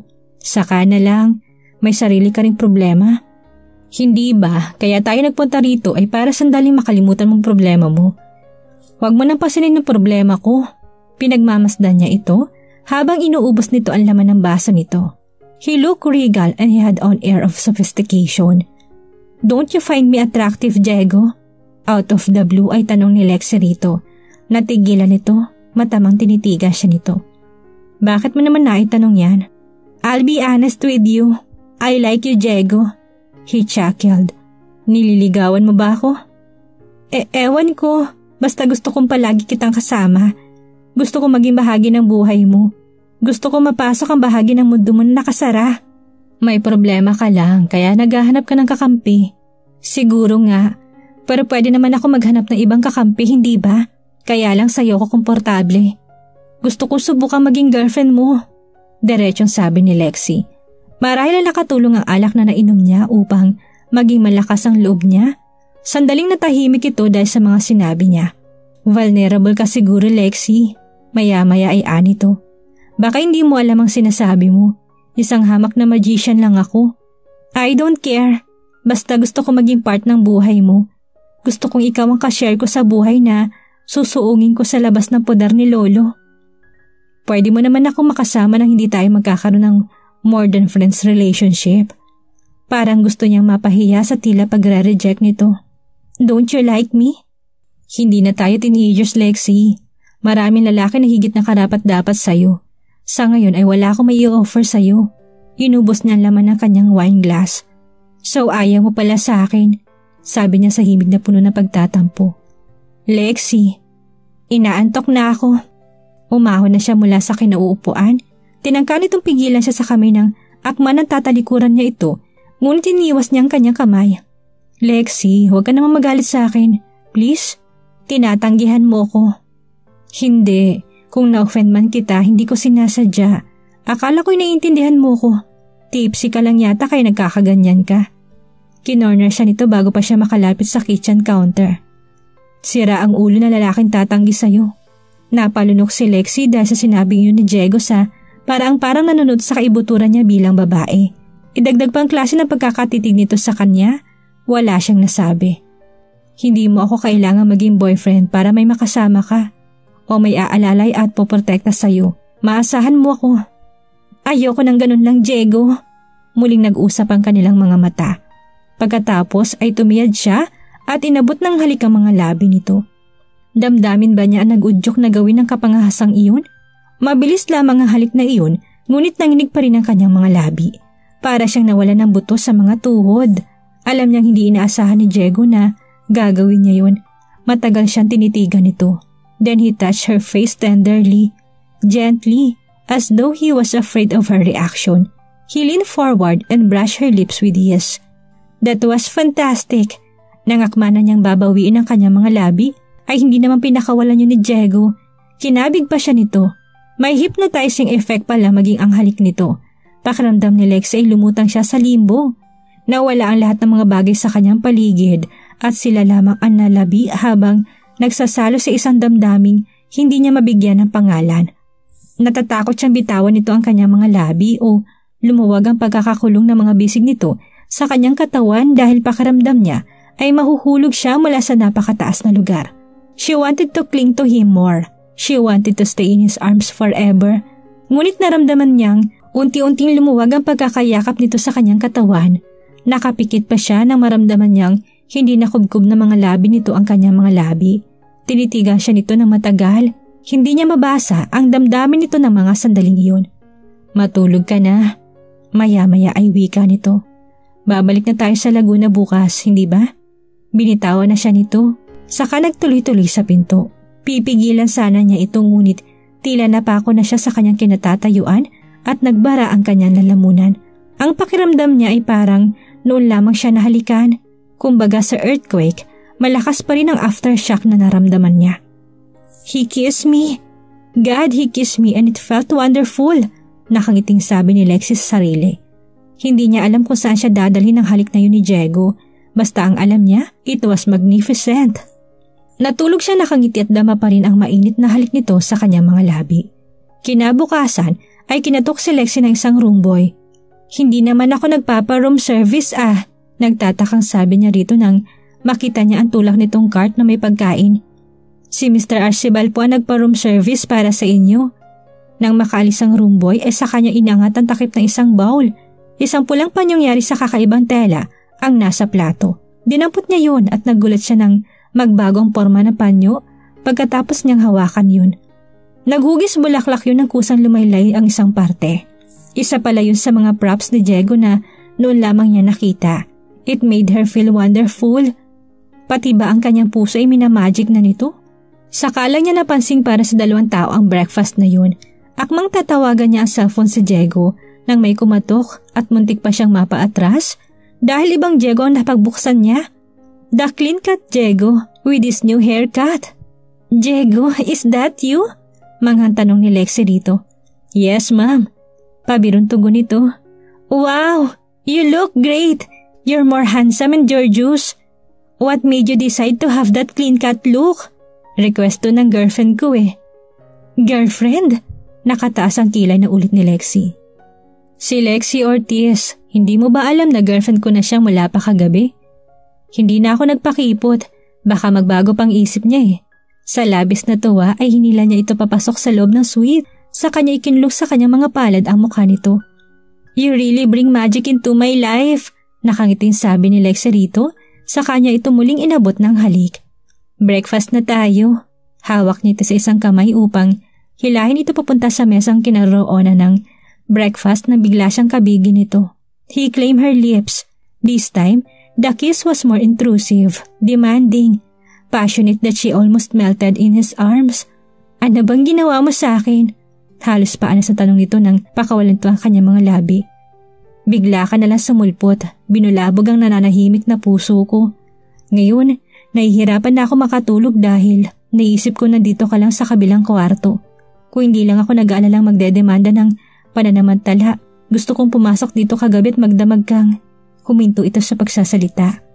Ano? Bakit hindi mo ituloy? Magdamag kang yakapin at halikan. Bilang tugon ay pinisil niya ang tungki ng ilong nito. Ang cute mo talaga sa bagong mong haircut at clean cut look. Para ka ng Hollywood star ngayon. Wag na wag mo akong bobolahin ng ganyan. Hindi mo pa ako kilala. Wag mong gigisingin ng sleeping tiger. Baka hindi ka na makalabas ng kwartong ito ng... Nang buhay? Nang may lips, sabi nitong pilya ang pagkakangiti. We're supposed to go back to Laguna, remember? Kaya kumain na tayo. Yaya niya rito habang inaayos niya ang kwelyo ng polo nito. Kung hindi dahil sa show ni Diego sa Carnival, ay hindi pa sana sila aalis ng Puerto Villa Ignacio ng araw na yun. Ngunit dahil ito ang main attraction ng Carnival, ay hindi ito maaaring hindi bumalik sa Laguna ng araw na iyon. Inihatid muna siya nito sa tinitirhan nito. Dito ka na muna magstay. Bukas ng umaga, ihahanap kita ng apartment, sabi ni Diego. Tiniyak nitong komportable na siya at at home bago siya iniwan ito. Nang makaalis ito'y tinawagan niya kapatid na si Abby. Naku, ate nasan ka na ba? I can tell you. Anong balita dyan sa mansyon? What do you expect? Galit na galit si Lolo. Kahapon dapat ang trip mo papunta sa Sydney. Ipinahanap ka na niya ngayon. In fact, sa pagkakaalam ko, nasa bukid nun sila para hanapin ka sa tatay mo. Pati si na tatay bubulabugin niya ron. Doon niya iniisip na nagpunta ka. Hindi niya ako basta mahanap. Hindi titigil si Lolo hanggat hindi kanya natatagpuan ate. For heaven's sake, please tell him to leave me alone. Nangingit-ngit na sabi niya. Pero alam ko hindi naman ako pwede magtago sa kanya habang panahon. Magpapakita rin ako sa kanya, but I have a big surprise for him. What are you planning to do ate? I'll let you know later. In the meantime, magtiis ka muna dyan. I'm sorry if I have to leave you there. You're a grown-up lady now. I know you can take care of yourself at tinapos na niya ang pakikipag-usap sa kanyang kapatid. Bagamat inaasahan na ni Lexi, dismayado pa rin siyang malaman niyang nakahold ang accounts niya sa bangko, pati na ang mga credit cards niya ay hindi niya maaaring gamitin. Mabuti na lamang at nakapag-withdraw siya ng 500,000 pesos na araw na tumakas siya sa mansyon ng mga agila. Tinawagan din niya si Jenna. Nagpunta sa bahay namin ng lolo mo. Galit na galit. Ayaw niya maniwalang hindi ko alam kung nasaan ka ngayon. I really have no idea where you are. Nasaan ka na ngayon? Make a wild guess. Oh, so you're with the magician? Mm-hmm, kumpirma niya. at tuloy ang plano mo? Yeah. Okay, what can I say? Good luck na lang best friend. Dahil sa baking lang bihasa si Lexi at wala na siyang ibang alam lutuin kung hindi ang mga pasta recipes, naisip na lamang niya magluto ng spaghetti with white sauce. Dahil walang oven sa kitchen ni Diego, ay bumili na lamang siya ng gardenia loaf at ginawa niyang butter toast ala pizza. Pinahira niya ng pizza sauce saka nilagyan ng ham and cheese na hinayaan niyang matunaw. Saka siya bumili ng orange lychee juice. Tinawagan niya si Diego at sinabi nitong pauwi na ito kaya inihanda na niya ang kanilang dinner. Wow, masarap ka palang maging girlfriend. Sabi nito pagkakita sa isang mesang nakaset na. Ikaw lang eh, pabirong sagot niya. Kaya lang, alam ko mahilig ka sa rice. Nagsaing ako pero bumili na lang ako ng lechong manok. Pangpasta lang kasi ang beauty ko. Sa effort na in-exert mo, may karapatan pa ba akong mag-complain? Masayang nagsalo sila sa dinner. Hindi siya nagpahalata nag-aalala siyang maaari din siyang matrace ng lolo niya roon. Hindi ba pwedeng dito na lang ako magstay sa bahay mo? Muntik nang masamid si Diego sa sinabi niya. Bakit hindi? Anito. Pero ayaw ko may masabi sa akin ng lolo mo. Nasa naman ang respeto ko sa iyo kung ibabahay kita ng hindi tayo kasal. Kung yun ang problema, then marry me. Tuluyan na itong nasamid. Mabilis na uminom ito ng juice. Saka natitigilan tinitigan siya. Joke ba yan? Mukha ba ako nagbibiro? Tuluyan na ibinaba nitong hawak na tinidor. Pero nasa getting to know you each other stage pa lang tayo. Naisip mo ba yan dahil gusto mong makatakas sa lolo mo? Hindi siya nakasagot. Kailangan maging maingat na siya dahil mukhang nahahalata na nito ang tunay na dahilan niya. Kumain ka na lang ng kumain, baka gutom lang yan. Pabirupang sabi nito. Pagkatapos nilang kumain ay lumapit si Lexi kay Diego na nakatayo malapit sa bintana at mukhang malalim ang iniisip. Bukas ng umaga, ihahanap na kita ng matitirahan, sabi nito. Marami namang bakanting apartment dito eh. Seryoso ako, Diego. Marry me, sabi ni Lexi nang ipihit niya ang mukha nito paharap sa kanya at ikulungin sa kanyang mga palad. Gusto mo lang tumakas sa lolo mo. Hindi magandang dahilan yun para magpakasal. But I like you. I mean, I'm beginning to love you. Tinitigan siya nito ng mataman saka siya iginiya palayo sa bintana. Isinandal siya nito sa dingding. Hinaplos ng mga daliri nito ang kanyang pisngi habang hawak niya ang isang kamay nitong nasa mukha niya. Pagkatapos ay gumawi sa kanyang mga labi ang mga daliri nito. Dinama at hinaplos yun. Saka ikinulong nito sa mga palad nito ang kanyang mukha at unti-unting bumababa ang labi nito sa kanyang mga labi. They kissed till eternity. Nang maghiwalay ang kanilang mga labi ay isinubsob niya ang kanyang mukha sa dibdib ni Diego at yumakap siya rito. Tinugon nito ang yakap niya at hinaplos-saplos ang kanyang buhok sa pagkakayakap nito sa kanya at sa pagkakasandig niya sa dibdib nito, pakiramdam niya ay wala siyang dapat na ipag-alala. Gusto kong palagi kang kayakap, pero alam ko hindi ito magiging maganda sa paningin ng lolo mo. Kakausapin ko siya. Ha? Maang na reaksyon ni Lexi nang magangat siya ng muka. Nagkatinginan pa sila nang may marinig silang ilang sasakyang pumarada sa tapat ng gate. Bigla siyang kinabahan. Si sina lolo siguro yan, Sabit niya. itago mo ko, Diego! Natatarantang sabi ni Lexi. Bago pa ito makasagot, ay nagtahulan na ang mga alagang aso nito. Pagkatapos ay nakarinig sila ng tila sumisipa sa nakasarang gate. Anong gagawin natin, Diego? Dito ka lang. Hindi ka makakapagtago sa kanya habang buhay at lalo siyang magagalit. Kakausapin ko siya. Huwag, ako na lang ang harap sa kanya. Natakot si Lexi. Siyak na malalaman na ni Diego kung sino talaga siya. Malalaman na rin niya ang totoo. Dapat pala ay nangumpisal na siya rito noong nasa Puerto Villa Ignacio sila. Sinaway ni Diego ang nagkakaingay ng mga aso nito sa kalubas ng pinto upang buksan ang gate. Sumunod na rin siya rito. Sir, nandito nga si Senyorita Lexi, sabi ng isa sa mga tauhan ng kanyang lolo. Napaatras siya na makita niya ang kanyang lolo na bumaba na expedition nito. Nagtago siya sa gawing likuran ni Diego. Good evening, sir. Bati pa rito ng binata. Ngunit hindi ito pinansin ng matanda. Sa kanya nakatutok ang nagbabagang tingin ng kanyang lolo. Let's go home, Alexandra. No, lolo. I'm staying here. Matigas na sagot niya. Bakit? Sinong pinagmamalaki mo? Ang lalaking ito? Yes, and I'm going to marry him. This bastard! Lalong nagsalubong ang mga kilay nito. Saka tila sinukat ng tingin nito si Diego. Kaya ba ayaw mo mapakasal kay Jason just because of this carnival magician? Yan ba ang klase na lalaki pinagmamalaki mo sa akin? Halos maglitawan ng mga ugat sa leeg nito. Hayaan niyo na ako. Galit ako sa inyo. Akala mo ba'y papayag ako sa malaking kalokohan mong yan? You're an heiress of a vast wealth, the next president of a multi-million company. Kaya hindi mangyayari ang kastupidahan mong magpakasal sa isang magician lang who makes a living out of fooling other people with these tricks. Hindi niya inasahang labis na masasaktan siya sa panginsultong iyon ng lolo niya kay Diego. Napatingin siya sa binata. Hindi rin ako papayag na gawin niyo sa akin ang ginawa niyo kay mami at sa tatay ko.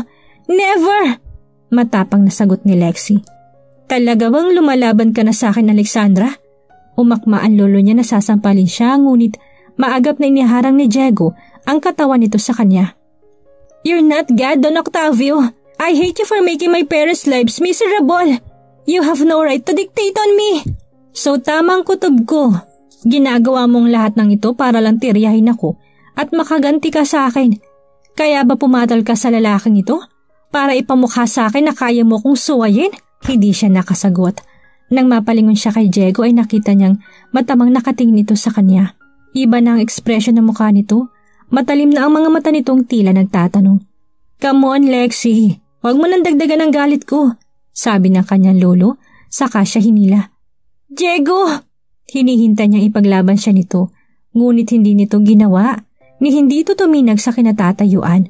Galit na lamang ang makikita ni Lexi sa mga mata nito. Alam niya na bigla ito sa mga natuklasan nito.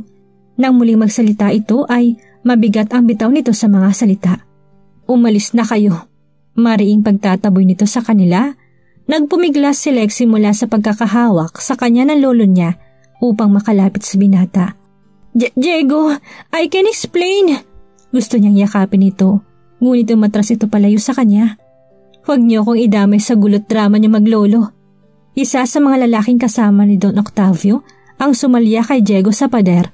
Umalma ito kaya sinuntok ito ng lalaki. Tarantado ka! Hindi mo ba alam kung sinong binabastos mo? Anang lalaki kay Diego. Nanlaban si Diego ngunit pinagtulungan ito ng dalawang lalaki. Huwag niyo naman siya saktan! Sigaw ni Lexi. Sige, gulpihin niyo ang bisyosong yan. Sagot ng kanyang lolo. Hindi niya alam kung iiyak siya at kung paano makakawala mula sa pagkakapigil sa kanya ng lolo niya. Gusto niyang tumakbo palapit kay Diego. Ngunit itinulak na siya nito papasok sa sasakyan. Alexandra Aguila, panganay sa dalawang apo ni Don Octavio Aguila ng Golden Eagle Group of Companies. Nagtapos ito ng International Business Management sa Ateneo. Ngayon ay CEO ito ng Golden Eagle Electric na isa sa pinakamalaking manufacturers ng bulbs at modern electrical fixtures sa bansa. Isang malaking personalidad sa business community si Don Octavio. Ang Golden Eagle Electric pa lamang ay isa sa first top 1 companies sa bansa na nag-gross ng multi-billion per annum. Tinampal ni Diego ang kanyang noo pagkatapos malaman mula sa taong kausap niya kung sino si Alexandra Aguila. Wala siyang ka-idea na ang Lexi Ortiz na nagpakilala sa kanya ay ang prinsesa ng Agila Empire. Fake ka, Alexandra. Pinaikot mo lang ako. Pinagmukhang gago. Ginamit. Damn you! Isinubsob niya ang kanyang mukha sa kanyang mga palad. Pagkalipas ng ilang saglit ay tumayo siya at sinuntok niya ang dingding. Nasasaktan siya dahil mahal na niya ito. Minahal niya ito sa napakaikling panahon. Dalawang taon na rin siyang nabubuhay sa lungkot at pag-iisa. Nililibang na lang niya ang sarili sa pamamagitan ng pagmamagic niya. Noon, parang walang handang makinig sa nilalaman ng kanyang puso. Nang makilala niya si Lexi, akala niya ito na ang babaeng para sa kanya. Wala siyang kamalay-malay na pinaglalaruan lamang siya nito. Nang mapatingin siya sa kanyang mga asong sina King at Hulk, ay nakatingin din sa kanya mga ito na para bang nakikisimpatya sa kanya. How dare you para paglaruan ng feelings ko? Galit ang nararamdaman ni Diego para sa dalaga ngayon. Masakit isiping ginamit lang siya nito. Pinasok nito ang buhay niya nang walang kaabog-abog. Ni hindi niya pinagdudahan ito. Gusto niyang ipamukha ang galit niya rito. Pero nasaan na ito? Ni hindi ito nag-abalang humingi ng tawad sa kanya. Kaya ikaw ang napiling paglaruan ni Lexi ay dahil isa ka lang walang sinabing carnival magician. Panguuyam na isang bahagi ng kanyang isip. Hindi kanya papansinin kung hindi kanya magagamit laban sa lolo niya. Damn you, Alexandra Aguila. Ilang araw na nagkulong lang si Diego sa kanyang tinitirhan. Palaging bote ng beer ang hawak niya. Hindi niya kaya mag-magic at mag-entertain ng tao kung ganoong nagluluksa ang kanyang puso. Come on, Diego. You'll get over her. Hindi mo siya dapat panghinayangan. Sabi na isang bahagi ng pagkatao niya. Hanggang isang gabi ay pinukaw siya ng pagtatahulan ng kanyang mga aso. Bigla siyang napaahon mula sa pagkakaupo niya sa kama at sumilip sa bintana. Baka bumalik si Lexi, ngunit hindi ito ang nasilip niya nakatayo sa tapat ng gate ko hindi ang tito Ernan niya. Matamang pinagmasdan siya nito nang pagbuksan niya ito ng pinto. One of our employees saw you at the carnival here in Laguna. Kaya ay pinahanap ka namin. What are you doing in place like that? Earning my living nang hindi umaasa sa mga Forbes. Bumuntong hininga ito. Saka ipinatong ang isang kamay nito sa kanyang balikat. Ipinapahanap ka ng papa mo. You need to talk. Marami kayong dapat pag-usapan. Itinakwil na niya ako, hindi ba? Alam kong malalim ang galit mo sa kanya, pero pagkatapos ng huling atake niya, nag-alala siyang mamamatay siya nang hindi kayo nagkakasundo. Minsan na siya nagpadala ng emisaryo niya sa iyo pero hindi mo pinansin. Your father has realized his fault. He'd been unfair. He didn't believe me. Nagsisisi na siya. Ikaw na lang ang natitirang anak niya. Nagalawan ang mga masos ni Diego sa mukha. Pero nagawa niya akong itakwil dahil sa isang babae. Hindi mo na ba mapapatawad ang papa mo? May iniinda siyang sakit na dulot ng paglalaro ni Alexandra Aguila sa damdamin niya. Tama nga lang sigurong gamutin na niya ang sugat na likha naman ng kanyang pamilya. Tatlong linggo na nakakulong sa mansyon si Lexi mula nang kunin siya ng lolo niya sa bahay ni Diego. Ngunit sa gitna ng sitwasyong iyon ay mas inaalala at pinoproblema niya ang galit ng binata sa kanya kaysa sa galit ng lolo niya.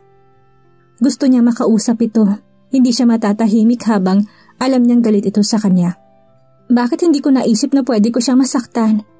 And without her noticing it, may bahagi na pala ng pagkatao niyang konektado na kay Diego. She missed him very much, lalo na kapag bumabalik sa isip niya ang masasayang araw nila sa Puerto Villa Ignacio. Sandali lang silang nagkasama but they had shared special moments. Ngayon ay sirang-sira na siya sa paningin nito at hindi niya alam kung paano niya mababawi ang tiwala at pagtingin nito sa kanya. Sinikap niyang kontakin ito ngunit nabigo siya. Si Jenna ang pinakiusapan niyang puntahan ito ngunit wala na raw sa tinitirhan nito ang binata. Hindi na rin daw ito nagsishow sa carnival. Walang maibigay na information sa akin mga kasama ni Diego sa carnival eh. Basta bigla na lang daw itong nagpaalam. God, I have to find a way to talk to him. Desperada ng sambit niya. Siguro masyado siya nasaktan kaya nagpakalayo-layo na. I know nasaktan ko feelings niya. Kasalanan ko. Sa galit ko kay Lolo hindi ko naisip na posibleng masaktan siya. He loved me. I felt it. Nagigilty talaga ako. Kung magkakausap lang kami, I will tell him he'd been special to me. Nayakap na lamang niyang hawak na unan. Doon niya ibinuhos ang yakap na gusto niyang ibigay kay Diego. Nang magdesisyon ang lolo ni Lexi na ipadala siya sa Sydney, ay nakasilip siya ng pagkakataong tumakas. Inihatid siya ni Abby at ni Yaya Bilan sa airport. Ang sekretary niya si Marian ang kasama niyang pupunta sa Sydney. Nagpaalam siya magsi-CR lang habang hinihintay nila ang boarding time nila. Ngunit tumakas na siya. Saka na lamang niya tinawagan si Abby sa cellphone nito at sinabi niya ritong huwag na siyang hanapin sa airport dahil nakalayo na siya. Pinilit niyang hingi ng pangunawa nito. Nagpunta siya sa bukid noon. Nagtuloy siya sa tatay niya at kinuwento niya rito ang mga nangyari. Nasundan din siya ng lolo niya roon pagkalipas ng isang linggo. Ngunit hindi nito nagawang kunin siya sa pudar ng kanyang ama na siyang humarap dito. Inagaw mo na sa akin si Maureen Inilayo mo na rin sa akin si Lexi sa mahabang panahon at ipinakulong mo ko kahit wala akong kasalanan. Ngayon siya na ang nagdesisyong umalis sa poder mo. Hindi mo siya makukuha. Patayin mo muna ako. Hindi na nakipagtunggali ang lolo niya. Galit na umalis na lamang ito. Doon na muna siya nanatili sa bukid nun sa pag-aalala niyang dukutin siya ng kanyang lolo. Doon ay nagkaroon pa siya ng pagkakataong maalagaan ng tatay niya. Ngunit may mga pagkakataong gustong gusto niya lumuwas para hanapin si Diego. Ngunit Binalaan siya ng kanyang ama. Alam nila kung paano mag-isip ang lolo niya. Si Jenna na lamang ang pinakikiusapan niyang from time to time ay i-check kung bumalik na si Diego sa carnival at sa dating tinitirhan nito. Iisa lamang ang palaging inire-report nito sa kanya. Hindi na raw bumalik si Diego sa carnival at bakante pa rin yung dating tinitirhan niya. Napasok siya bilang staff sa opisina ng gobernador. Sa cellphone at sa internet na lamang sila na nagkakausap ni Abby. Nangako siya sa kanyang kapatid na kukunin niya ito kapag maayos na ang lahat. Pagkalipas sa tatlong buwan ay may masamang nangyari kay Don Octavio. Nahulog siya sa kabayo habang naglalaro ng polo sa Puerto Villa Ignacio. He's in serious condition now. Pagbabalita ni Abby sa kanya nang magkausap sila sa telepono. Kayo na ang bahala sa kanya, Abby. Kahit ilang doktor at nurse naman ay kaya niyo siyang ikuha. I know he'll be alright. He thinks he's Superman. He can conquer everything. I tell you, bukas makalawa maglalaro na ulit ng polo yan. Masama ang naging bagsak niya kaya naging unconscious kaagad siya. Sa initial assessment ni mga doktor niya, malamang daw na malaki ang maging damage na aksidente yun sa kanya. If worst comes to worst daw, he can be paralyzed forever. Just like in the case of Don Enrique Zobel de Ayala. Oh my God! Mahinang lumabas mula sa kanyang bibig. Natutop niya ang kanyang bibig. Sa mahabang panahon ay nakasama niya ang lolo niya.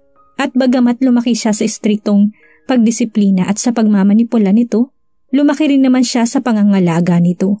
He provided her with everything, kapalit nga lang ng pagkasira ng pamilya niya at hindi naman siya talaga naging masaya. Kahit gaano kasama ang loob niya rito, may umahon pa ring awa sa kanyang dibdib para dito. Nang mga sandaling iyon ay nangibabaw ang lapat ng dugong parehong dumadaloy sa kanila. Despite everything, he was still the father of her mother at hindi siya bato upang hindi malungkot sa balitang narinig. Tila may pumiga sa dibdib ni Lexi nang makita niyang kalagayan ni Don Octavio sa ICU ng St. Luke's Medical Center. The powerful, formidable Iron Eagle kung tawagin sa business community ay nakaratay sa isang malamig na kwarto na tila wala ng buhay. Walang kabakas-bakas na lakas at kapangyarihan at nakadepende na lamang sa mga aparatong nakakabit sa katawan nito. Matigas kasi ang ulo niya Sinabi ng bawas-bawasan ang paglalaro niya ng polo dahil sa edad niya. Ayaw pa rin paawat, sabi niya, saka nagpakawala siya ng buntong hininga.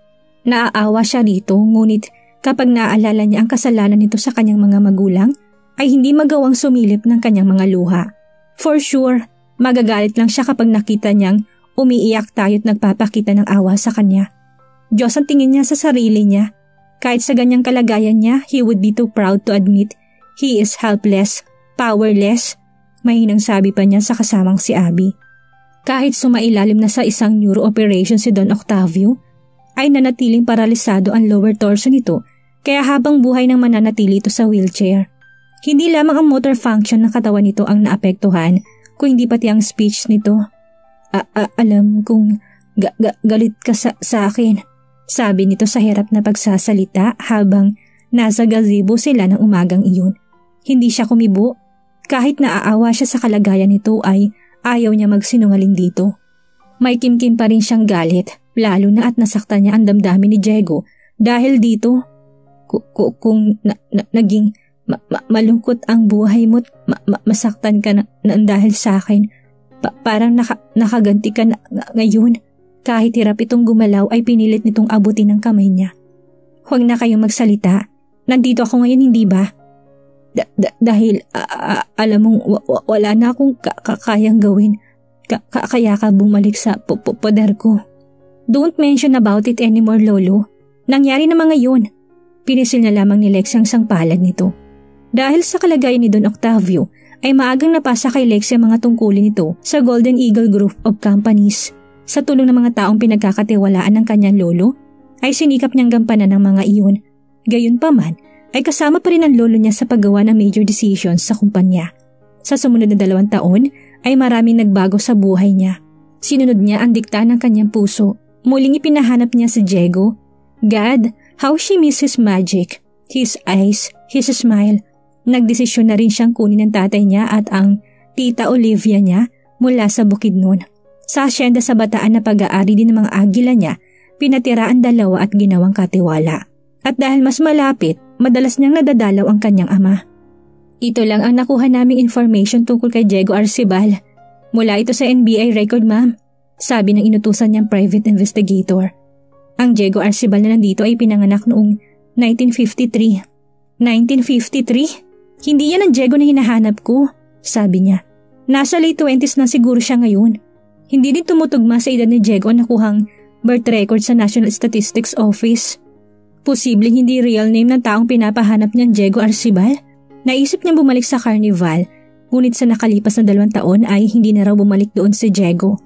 Ipinagalugad na niya halos lahat ng theme parks at carnival sa ibang bansa para matagpuan si Diego. Ngunit bigo pa rin siya hanggang isang araw ay makatanggap siya ng tawag mula kay Jenna. Nasa Puerto Villa Ignacio to? I saw him. I saw Diego here, Lexi. Really? Sinabi mo bang hinahanap ko siya? Hindi ko na siya naabutan. Paalis na sila ng island. Sila. He was with the beautiful foreigner. May kung anong hapding bumara sa kanyang lalamunan. What was happening to her? Bakit naapektuhan siya nang marinig niyang may kasamang ibang babae si Diego sa Puerto Villa Ignacio? Muntik nang maibuga ni Lex ang ininom niyang pineapple juice pagkatapos marinig ang sinabi ni Abby. Nasa harap sila ng breakfast sa gazebo sa gitna ng malawak na lawn. Inilapag niya sa table ang baso ng juice, saka matagal na pinagmasdan ang kaharap na kapatid. Ano sinabi mo? I said I'm pregnant. Nakayuko ito habang nagsasalita. I don't like your kind of joke. Hindi ka nakakatawa. But it's no joke. I'm serious ate. Umunat na siya sa kinuupuan. Hindi siya makapagsalita. Sa susunod na buwan pa ito magsa-celebrate ng 16th birthday. Galit na umahon siya mula sa kinuupuan. For heaven's sake, anong ginawa niyo? Why did you let this happen? We love each other eh. We've talked about this already. And Lance is offering marriage. Marriage? Ilan taon na ba yung Lance na yan? 17. Jesus. Natampal na lang ni Lexi ang kanyang noo. Sa sobrang kaabalahan niya, nagkulang na ba siya ng paalala sa kanyang kapatid kaya nagkaganon ito? Ni hindi pa niya kilala ng mabuti ang boyfriend nito. Wala siyang ibang alam kay Lance kung hindi Classmate ito ni Abby at galing sa may sinasabing pamilya. Oh my God, ano bang problema to? You're so young. Paano ng future mo? Sunod-sunod na itanong niya pagkatapos na makabawi sa matagal na pagkabigla. Alam na ba to ng parents ni Lance? I guess so. Kailangan ko makausap ang parents niya. My God, why did you do it? Anong akala niyo sa buhay? Laro? Tuluyan ang umiyak si Abby at pumasok na ito sa loob ng mansyon. I love Abby Ate Lexi, sabi ni Lance na makausap nito. I'm willing to marry her. Marry her? What do you know about marriage? Pareho pa kayong dependent sa pamilya niyo. Freshman college pa lang kayo. Kakayanin namin Ate Lexi. Huwag niyo lang kami paghiwalayin. Hindi niyo alam kung ano itong pinasok niyo. Galit na sabi niya. What does your family say about this? As expected, nagalit ang tito ko. Tito? Where are your parents? I was orphan when I was 8. Aksidente sa dagat ang sabay na ikinamatay nila. From then on, ang lolo ko at ang younger brother ng mami ko ang naging guardian ko. But my lolo died 8 months ago, kaya ang tito ko na lang ang guardian ko. Tell him I want to talk to him. Ayon kay Lance, 28 years old lang ang tito nito. Hinintay ni Lex ang tawag ni Lance kung kailan sila mag-uusap ng tito nito. Inaasahan niyang sasadya ito sa bahay nila o sa opisina niya, ngunit hindi ganon ang gustong mangyari nito. Gusto raw nito magkita sila sa Shangri-La Makati. That's arrogance sa loob-loob niya. Habang nagda-drive siya papunta sa Shangri-La. Hindi ba dapat magpunta siya sa bahay para doon namin mapag-usapan ang problema ni na Abby at Lance? Nahiling na lamang niyang sana ay hindi ito mahirap kausap dahil hindi siya papayag na maagrabyado si Abby. Pagpasok pa lamang niya sa restaurant kung saan sila magmimit ng tito ni Lance ay iginiya na siya ng waiter sa table na ipinareserve nito. Wala pa ito roon Napaaga ba siya ng dating o talaga lang hindi marunong kausap ang tito ni Lance? After 3 minutes ay may napansin siyang papalapit sa table niya. Nang magangat siya ng tingin, hindi lamang nalaki ang kanyang mga mata. Tila nanigas din siya sa kanyang kinauupuan. No, hindi si Diego ang kaharap niya. Malamang nakamukha lamang nito. The man standing in front of her was full of sophistication like a polished diamond Ngunit base sa matagal na pagkakatitig ito sa kanya, ay mukhang si Diego nga ang kaharap niya. It really was Diego in the flesh, necktie and slacks. His shoulders were still broad, his hair rich and thick. Mukhang hindi na nito hinayaang muling humaba ang buhok at balbas nito. A small world, isn't it, Alexandra Aguila? Sabi nito. Alanganing ngiti ang pagkakataas ng isang sulok ng bibig nito. I think there's a mistake here, sabi niya. Ipinareserve ng kausap ko table na to. Sino bang kamiting mo? Tanong nito. Mr. Magalona, the uncle of Lance Magalona. You are in front of Lance Magalona's uncle. Y- you? Hindi siya makapaniwala. I'm afraid so. She felt numb for the next couple of seconds. Paano nangyari yun? Bukod sa hindi ganito ang Diego na kilala niya, ang sabi ni Abby ay galing sa prominenteng pamilya si Lance. Kung sa bagay, ang lalaking kaharap niya ngayon ay hindi lang gwapo. He was astonishing gorgeous in his attire, a long-sleeve gray polo with a pale yellow checkered necktie. Sabi ko na nga ba't magkikita ulit tayo? Uwi ka nitong pareho na silang maupo. Small world indeed. Akalain ko ba sa dami na pwedeng maging tito ni Lance, ikaw lang pala yun. Ikaw lang pala, ulit nito. Maliit pa rin ang tingin mo sa akin hanggang ngayon. No, maagap na salag ni Lexi. What I mean is, I didn't expect this really. Ilang months ng boyfriend ng sister ko ang nephew mo, pero hindi ko nalaman na related siya sa'yo. Baka pinaglalapit tayo ng pagkakataon. What do you think? Sarcastic pa rin ang tono nito. Matagal na pinagmasdan niya ang kaharap. Hindi niya inasahang ganun ang mararamdaman ni Lexi. Sa muling pagkikita nila, she was happy and excited. I've been looking for you. Kung saan saan kita pinahanap. Oh really? Sarcastic pa rin ito. For the last two years, pinahanap kita. Halos lahat ng records ni Diego Arcibal, pinahalungkat ko. Pagkatapos kung kailan ako tumigil sa paghahanap sa'yo, mahirap hanapin ng taong ayaw magpahanap. I hated you for using me, kaya kahit ipahanap mo pa ako, hindi mo ako makikita. Besides, what for? Para mag-explain. Explain what? Malinaw naman ang lahat. Niloko mo ko. Ginago. Akala ko totoo ka. All the while pala, balak mo lang akong gamitin sa pakikipagteryahan mo sa lolo mo. Kung ano-ano pang ginamit mong dahilan. You're a first-class liar. Sa dami mo mapaglalaruan, ako pa? Natigagal si Lexi. Kahit hindi nagtataas ng boses si Diego ay kitang-kita niya ang galit sa mga mata nito. Diego, do you have to understand? Kapag galit ang tao, may mga nagagawa siya sa bandang huli lang niya Nare-realize na mali, paliwanag niya. Yes, mali nga ang motibo ko nung unang lapitan ka. Pero hindi ako masamang tao. Hindi ko ugaling manggamit ng iba. Ang nasa isip ko na lang noon ay ang makaganti sa lolo ko dahil sinira niya ang pamilya ko. Ipinakulong niya ang tatay ko. Gusto kong magalit siya sa akin at patunayan sa kanyang hindi niya pwedeng diktahan ang lahat ng tao sa paligid niya. Kung ano man ang problema niya ng lolo mo, hindi ka na dapat ang dami ng ibang tao. Matagal ko nang gustong mag-apologize sa'yo I didn't mean to hurt your feelings. Hindi ko sinasadya. I was about to tell you the truth dahil nagigilty na ako. Enough. We're here to talk about Lance and your sister, isn't it? Hindi ko alam na kapatid mong girlfriend ni Lance. Hindi nagkakwento sa akin si Lance about this affair because I always remind him not to take women seriously at his age. Marami pa akong plano sa kanya, pero ngayon nalaman kong isa palang agil ang girlfriend niya. Hindi ko alam kung anong pag-uusapan natin. For heaven's sake, My sister is pregnant. Sorry for her. She'd been careless. Nagsalubong ang kanyang mga kilay. How crude can you get? Abby is barely 16. And so my nephew, sabi nito. We have to do something about this.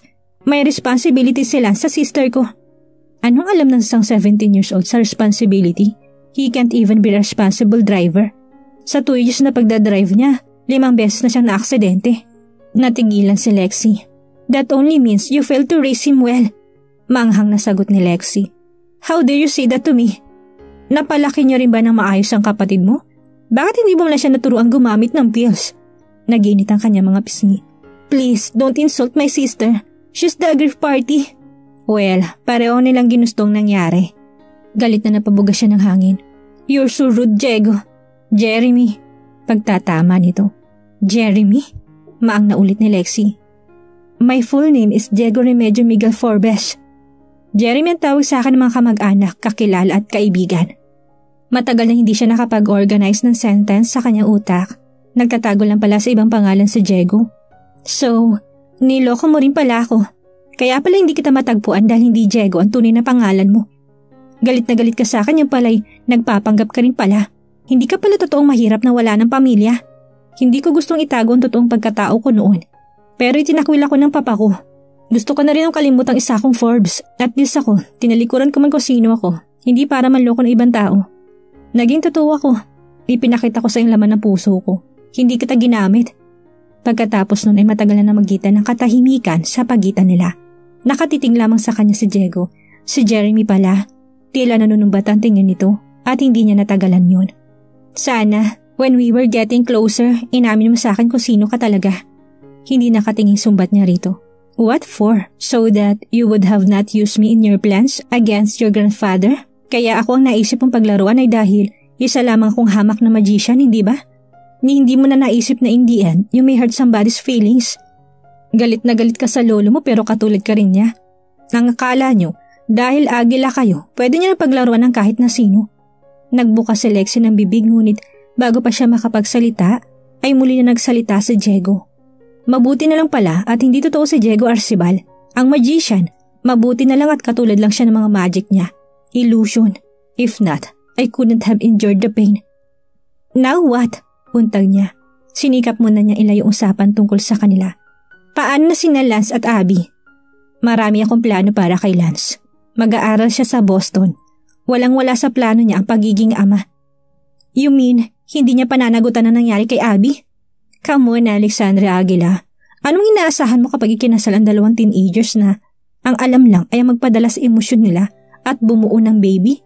I doubt if your sister even knows how to boil an egg, lalo na at apo siya ni Don Octavio Aguila. I'm sure katulad mo rin siyang prima dona. Pinigil ni Lexi ang pagtatagis ng kanyang mga ngipin. Pero paano ng kapatid ko? I will support Abby financially until she gives birth. Susuportahan ko rin ang bata sa lahat ng pangangailangan niya. It's not what she need and the baby need, but a name. Okay, the baby can use Lance's name. He will recognize the child if that's the assurance you want to hear. Ganun lang? Paano sila ni Abby? Kapag nagpunta sa States si Lance next month, I tell you, makakalimutan nila ang isa't isa But they love each other. Do you believe it's really love? Puppy love siguro, oo. Love na walang kasamang responsibility. Let them mature. Kapag pareho na sila nag-mature at hindi pa rin nagbabagang feelings nila para sa isa't isa, it's the only time we can talk of marriage. Magiging unwed mother ang kapatid ko kung ganun. Alin na pipiliin mo? Ang maging unwed mother siya o ang magpakasal at magsisirin sila later kapag na-realize nilang mababaw lang ang nararamdaman nila sa isa't isa? at hindi pala biro ang pag-aasawa at pagiging magulang. Anong inaasahan mo sa dalawang ganyang kabata kapag nakasal sila? Ilalagay lang natin sila sa mas malaking problema. Hindi dahilan ng pagbubuntis ni Abby para magpakasal sila ni Lance. Paano kung magbagong isip nila? Samantalang kung hindi sila makakasal, pwede pa nila to pa rin ang mga pangarap nila nang hindi nakakulong sa isang wala sa panahong kasal. Hindi nakaimik si Lexi, bagamat hindi niya nagustuhan ang ilang sinabi ni Diego, ay isang bahagi ng isip niya ang nagdidikta sa kanya na may katuwiran ito. Iced tea lang in-order nito kaya orange juice na lang ang in-order niya. Nagmamadali ito. Sa katunayan, hindi na sila nakapag-usap ang mabuti dahil may mga phone calls na tinatanggap ito sa cellphone nito. Sa inis niya ay nagpaalam na siya rito. He's making me feel I'm not that important. Kaya kahit dapat ay nag-uusap kami, nag entertain pa rin siya ng phone calls. Pagsisinter ng kalooban ni Lexi habang pabalik sa sasakyan. Pero gusto namin mapakasal ni Lance ate. Giit na Abby.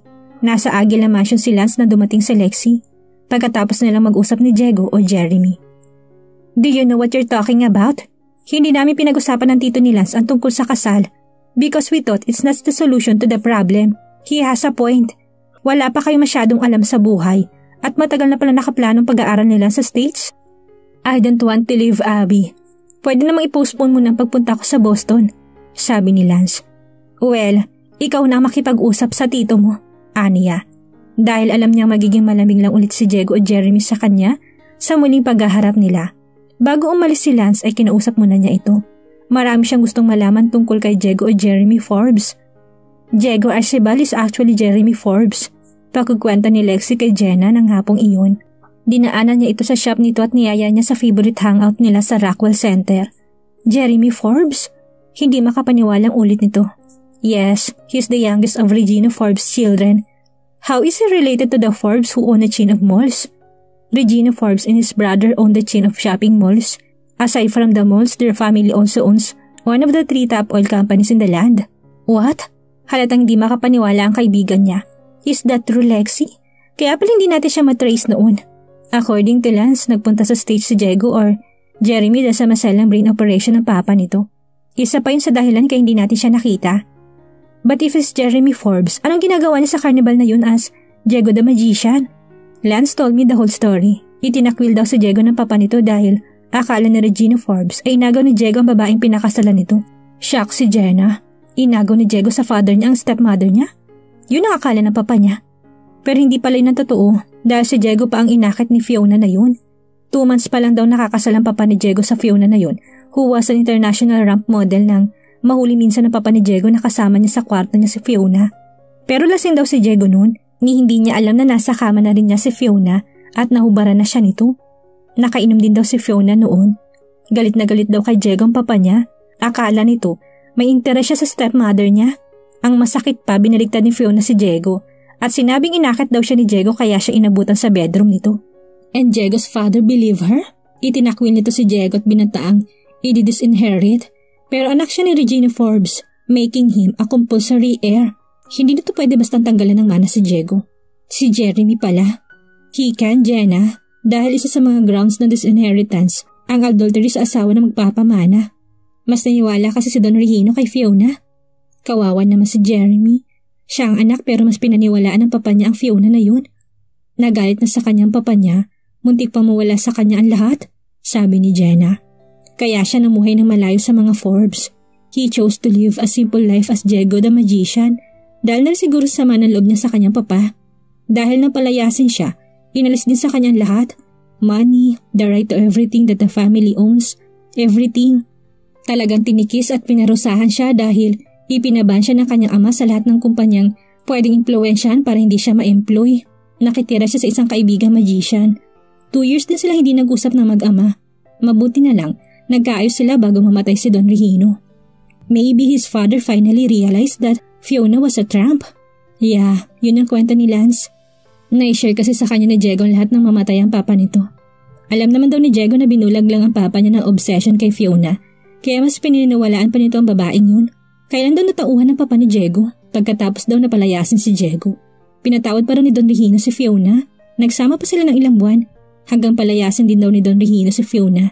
At marami na rin nangyari which made Don Regino realize na nagkamali siya nang hindi niya paniwalaan si Diego. Pero syempre, masama ang loob ni Diego sa papa niya kaya hindi rin siya kaagad bumalik sa kanila. Lumambot lang daw ang puso ni Diego na magkasakit si Don Regino. Oh my, nagkamali pala tayo ng taong pinili para sa plano mo noon.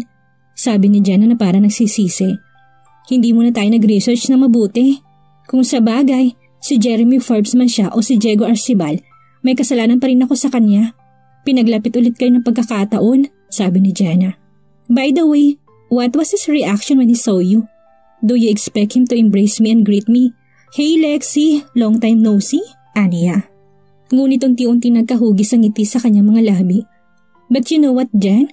When I saw him yesterday, I wanted to embrace him. It's only now when I realized that how much I miss him and I was excited. I just don't know where that feeling came from but I just couldn't explain it.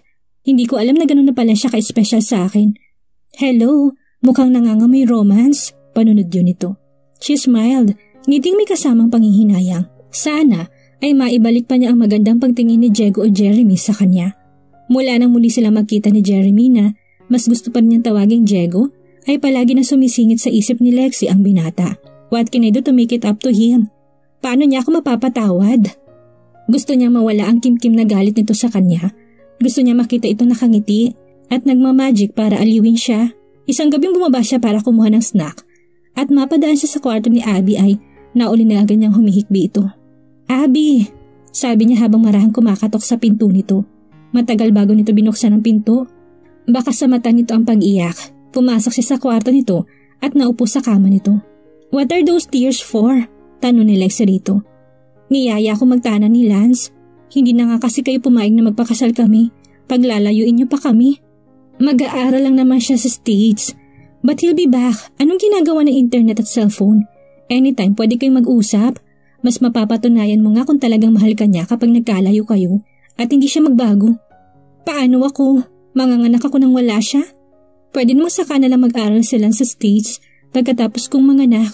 Ate please, kausapin mo ulit ang tito ni Lance. Okay, I'll see if I can change his mind. Hiningi ni Lexi kay Lance ang direct line sa opisina ni Jeremy at tinawagan niya ito. Matagal bago siya nakapagsalita pagkatapos niyang marinig ang paghelo nito sa kabilang linya. Can we talk? I'm busy. Tungkol ba saan? Is it important? Very. About Lance and Abby. We've talked about them already. May panibagong issue, Jeremy. Pilit na rin niya sinasanay ang kanyang sarili na tawagin ito sa totoong pangalan nito. Busy rin ako pero may problema dalawa kaya Siguro naman you could spare me a few minutes of your precious time. Okay, 6 o'clock. Name the place. Excitement. Yun ang nararamdaman ni Lexi habang papunta siya sa isang restaurant sa Alabang kung saan sila makikita ni Jeremy. Halos sabay silang dumating. Biglang bumalik sa isip niya ang eksenang nangyari 2 years ago dahil sa mismong restaurant din sila nag-dinner noon. Matagal na pinagmasdan siya nito bago ito umorder. Hindi niya alam kung anong iniisip nito. Okay, what's the agenda? Walang emosyon tanong nito. Nakikiusap si na Abby at Lance, sabi niya. Siguro naman pwedeng ipostpone mo ng pag-aaral ni Lance sa abroad hanggang sa makapanganak si Abby. And why? What the difference would it make? Na-delay na nga ang pag-aaral ni Lance dahil nagpabaya siya ng high school. Maotoridad na sabi nito. What difference would it make? Alat, malaking bagay kay Abby na nasa tabi niya si Lance sa panahon ng pagbubuntis niya and until she gives birth. Ayaw pa rin namang umalis ni Lance. It's for his future. Kung sila talaga ni Abby magkakatuluyan, para sa kinabukasan din nila yun. Hindi kaya gusto mo lang paglayuin sila dahil galit ka sa akin? Natawa ito ng sinikal. Kung tutuusin nga, hindi pa nga ako nakakabawi sa'yo sa ginawa mo sa akin noon. My pride still aches kapag naalala ko yun. Pero hindi ako obvious gumante. Hindi ko gagamitin si Lance at Abby. Ikaw ang may kasalanan sa akin. Nagkataon lang na may mga plano na kami ng papa ko para kay Lance bago pa siya nakabuntis dahil siya ang next in line sa presidency ng kumpanya ng pamilya. Napahiya si Lexi sa pambibintang niya rito. Okay, granted na may plano na kayo para kay Lance bago nangyari to. Ano ba naman yung pitong buwan para i-postpone ng pag-alis niya? Huwag mong konsintihin ang pag-inarte nila. Teach your sister to be practical. Matigas na sabi nito. Naningkit ang kanyang mga mata. Alam mo sa lahat ng ayaw ko ay ang taong manipulative. Hindi porke ikaw ang guardian ni Lance ay ikaw magde-decide para sa kanya. I'm not manipulating Lance. Gusto ko lang ilagay sa ayos ang buhay at kinabukasan niya. And my decision is final. Matagal siyang natahimik. Kung hindi siguro ako naging kapatid ni Abby, malamang ay pagbigyan mo sila. Ano ba namang klaseng comment yan? Oh, come on. Bakit hindi mo pa aminin sa akin na gumaganti ka sa ganitong paraan? Nasaktan kita. And now that you have the opportunity to make me pay for what I've done, I'm sure you wouldn't want to waste the chance. Bakit hindi ka sa akin gumanti kapalit ng pagpayag mo sa hinihiling ni na Abby at Lance? Matamang pinagmasdan siya nito. Well, kung talagang willing kang bayaran ng kasalanan mo, sige, sumama ka sa akin sa Puerto Villa Ignacio. Puerto Villa Ignacio? Maang naulit ni Lexi. Tatlong araw ako mananatili doon at imbis na maghanap ng ibang makakasama ko, sa tingin ko, mas magandang ikaw ang makasama ko. Umangat ang isang kilay ni Lexi. Company? What do you mean? Tanong niya kay Jeremy. Someone I can be with mag-aasikaso sa akin, makakasama sa mga activities na gagawin ko, at makakausap ko para hindi naman mapanis ang laway ko. Kung yun lang, why not? Alanganin pa rin sagot niya. Alam niya kung bakit tila kinakabahan siya sa pagkakatiting nito sa kanya. Pakiramdam niya ay may kung anong tumatakbo sa isip nito na hindi niya mabasa. To be honest, hindi lang basta company ang kailangan ko. Wh- what do you mean? Mang natanong ni Lexi. Bahala ka nang mag-isip. You said you want to make it up to me, don't you? Gusto mong kalimutan ko nang sinaktan mo ako noon. Nang linlangin at gamitin mo ako. Sinaling mo ang ego ko at ang pride ng pangalang Forbes. Kung gusto mong patawarin na kita, give me everything and everything I want. She was silent for a moment. What do you really mean? Ibigay mo sa akin ang pangangailangan ko. Like what?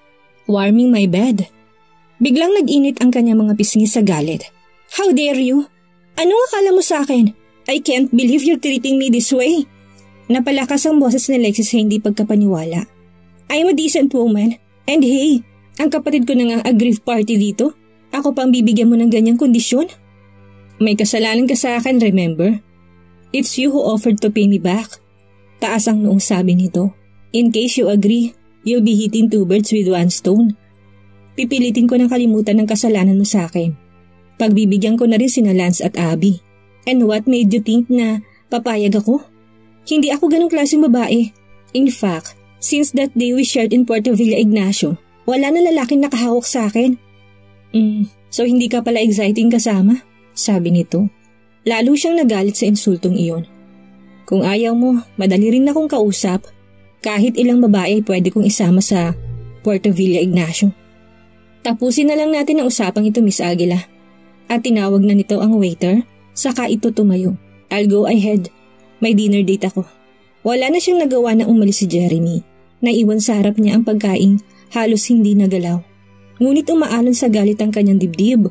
Pagkatapos insultuhin nito ang pagkababae niya, basta na lang siyang iniwan nito. Inaani na ba niya ang bunga ng ginawa niya rito noon? Dami Inis na sa loob-loob ni Lexi nang sundan niya ito ng tingin.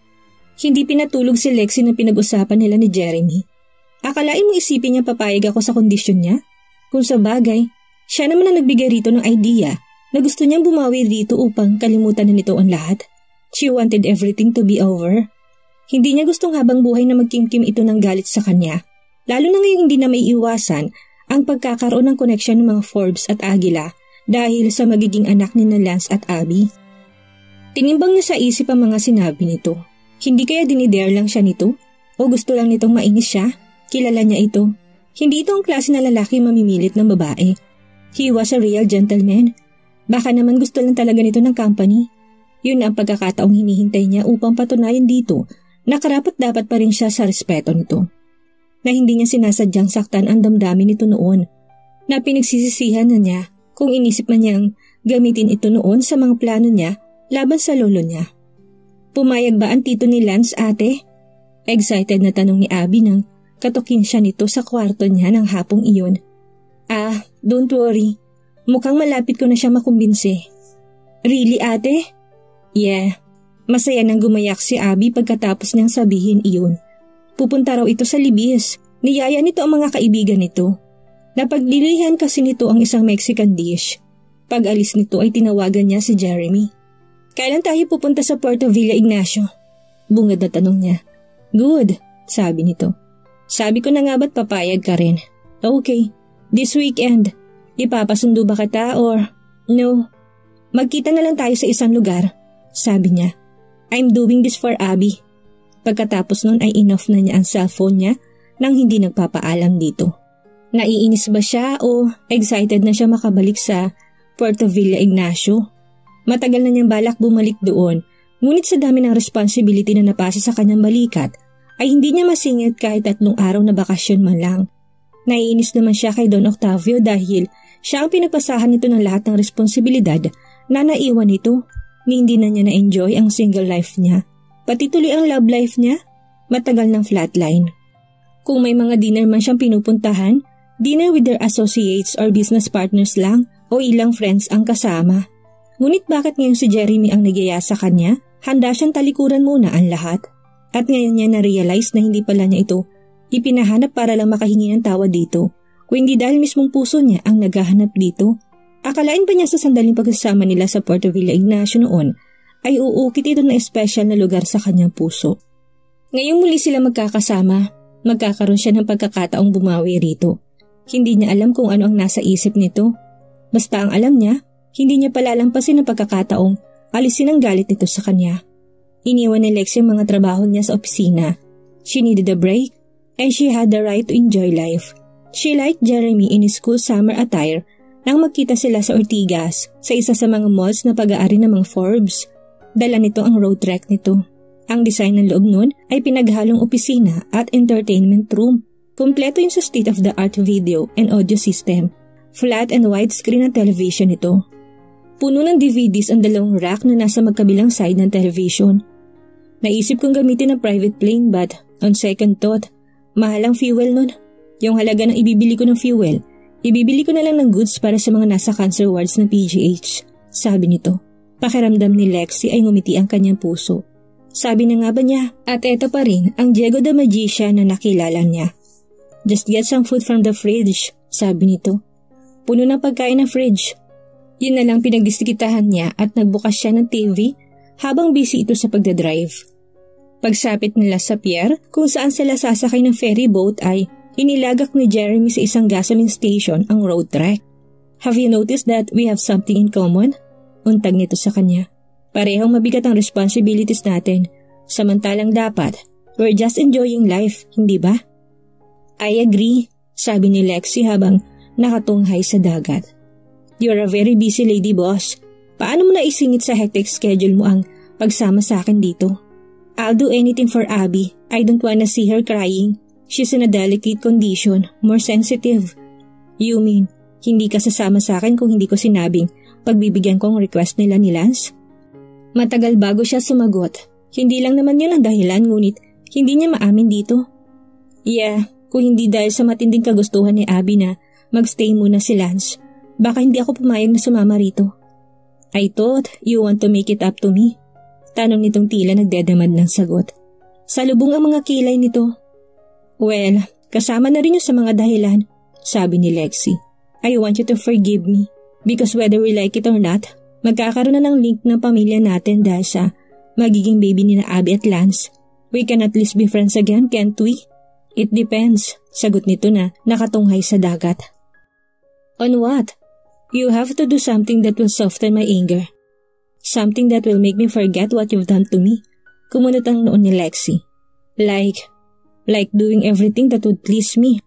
You want me to cook for you? Give you a massage? What? It's up to you. Ikaw ang mag-isip ng paraan. Lihim siyang napaismid. Balak ba siyang alilain o gawing yaya nito kaya siya isinama nito sa bakasyon nito? Bigla niyang naalala ang sinabi nito. Warming my bed. Bigla tuloy siyang kinabahan o na-excite. Nagtaka pa si Lexi nang sa halip na sa hotel ay nagtuloy sila sa isang rest house na tinatawag na villa sa exclusive residential area ng Puerto Villa Ignacio. Is this yours? Tanong niya kay Jeremy. Yeah. Oh, really? Matagal na niyang balak na bumili ng town villa sa Puerto Villa Ignacio. How nice! Buti ka pa, sambit ni Lexi habang iginagala ang tingin sa kabuuan ng konkretong villa. Unique ang architectural design ng villa. Ang front gate ay animo entrance ng carnival na pinagtatrabahuhan ni Jeremy sa Laguna. Pagkatapos nilang malibot ang villa nito ay niyaya siya nitong kumain sa isang restaurant na malapit sa dalampasigan. Habang kumakain sila ay may isang kakilalang nakita ito. Niyakap ka agad ito ng babae. This is Rizzy, pakilala ni Jeremy rito. And who's this Rizzy? Bakit hindi man lang niya binanggit kung associate o relative niya? Sa loob-loob niya, bigla ay parang hindi na siya nag-e-exist dahil sina Jeremy Rizzy na lamang ang nag-uusap Nagmukha na lamang siyang flower vase sa gitna ng mesa. Naging busy na si Jeremy sa pakikipag-usap kay Reese na nalaman niyang high school sweetheart pala nito. Ilang ex mo pa kaya ang makikita natin dito? Pasaring ni Lexi kay Jeremy nang makabalik sila sa villa nito. Sa lubong ang mga kila nito nang tingnan siya nito. Kaunti lang naman ang naging ex ko eh. Ah, nito. Nakompleto ko lang naman ang English alphabet. Sadya ba siyang iniinis nito? At bakit naman siya naiinis sa narinig? Hindi mo naman pala kailangan ng company ko eh. Aniya habang palapit siya sa hagdan. Saka siya nagpatiuna rito sa pag-akyat. Hindi na lumabas ng guest room si Lexi nang sumunod na dalawang oras. Nasira na ang mood niya at hindi niya alam kung bakit. Kinahapunan ay kinatok siya ni Jeremy sa kwarto. There's ongoing jet ski race. Gusto mong manood? Ikaw na lang, wala ako sa mood. Tuluyan na ito pumasok sa loob ng kwarto at binuksan ang dresser niya. Kumuha ito ng damit niya at tinihagis sa harap niya. Naka-short shorts at manipis na blouse lang kasi siya. I'm only giving you 5 minutes, sabi nito. Mind you, hindi lugar na pagmumukmuk ang Puerto Villa Royal. Napilitan na rin siyang magbihis. Pagkatapos nilang manood ng jet ski race, ay nawala ng inis na Lexi kay Jeremy. Habang nasa loob kasi sila ng isang kubo malapit sa Water Sports Center, ay sinorpresa siya nito na isang magic. Nang hubarin nito ang suot nitong baseball cap ay may inilabas ito mula roon na isang rose at isang kwintas na yari sa beads na isang souvenir item sa isla. Hindi ako impressed dahil alam kong hindi naman magic yan. Inilagay mo lang yan sa loob ng cap mo bago may sinuot. Ngunit nang may hugutin itong crochet shawl mula sa cap at ibalabalin sa kanya, napamaang ang bibig niya. How did you do that? Manghang tanong ni Lexi. Oh, remember the magician's motto? Not up to disclose secrets. Hindi mo pa pala nakakalimutan yun, nakangiting sabi nito. Of course, I haven't forgotten it. At marami pang ibang bagay tungkol sa hindi ko pa nakakalimutan. Dagdag sana niya. Palubog na ang araw na mag-swimming sila. Parang batang nagharot si Jeremy. Panayang saboy nito ng tubig sa kanya. Pagkatapos nilang mag-dinner ay nagpunta sila sa casino. Pareho silang naglaro. Bakaret at sa slot machines. Ngunit sinaway na siya nito nang makita nitong malaki-laking pera na ang tinataya niya. Mas kailangan niya ng mga batang may cancer, sabi nito, at niyaya na siya nitong bumalik sila sa villa. Nagsisimula na magpahinga si Lexi nang tumawag si Jeremy sa kanyang cellphone. Nasa kabilang room lang naman, may patawag-tawag pa sa loob-loob ni Lexi. Yes, aniya na sagutin ng tawag nito. Would you bring me brandy in my room? Tumaas ang isang kilay niya. Ano ako? Maid? Ngunit hindi naman siya nagreklamo. Ginawa rin niya ang inutos nito Thank you. Ah, nito, nang iabot niya rito ang hinihingi nito mula sa pinto ng kwarto nito. Sinagot lang niya ito ng paismid ng ngiti. Good night, sabi niya. Maaga pa at nasa kasarapan pa ng tulog si Lexi nang bulabugin siya ng mga katok sa pinto ng guest room na kinaroroonan niya. Ano ba? Inaantok pa ako! Sigaw niya kay Jeremy. Hindi siya bumangon sa kama. Anong petsa na? Sumilip siya sa bintana. My God!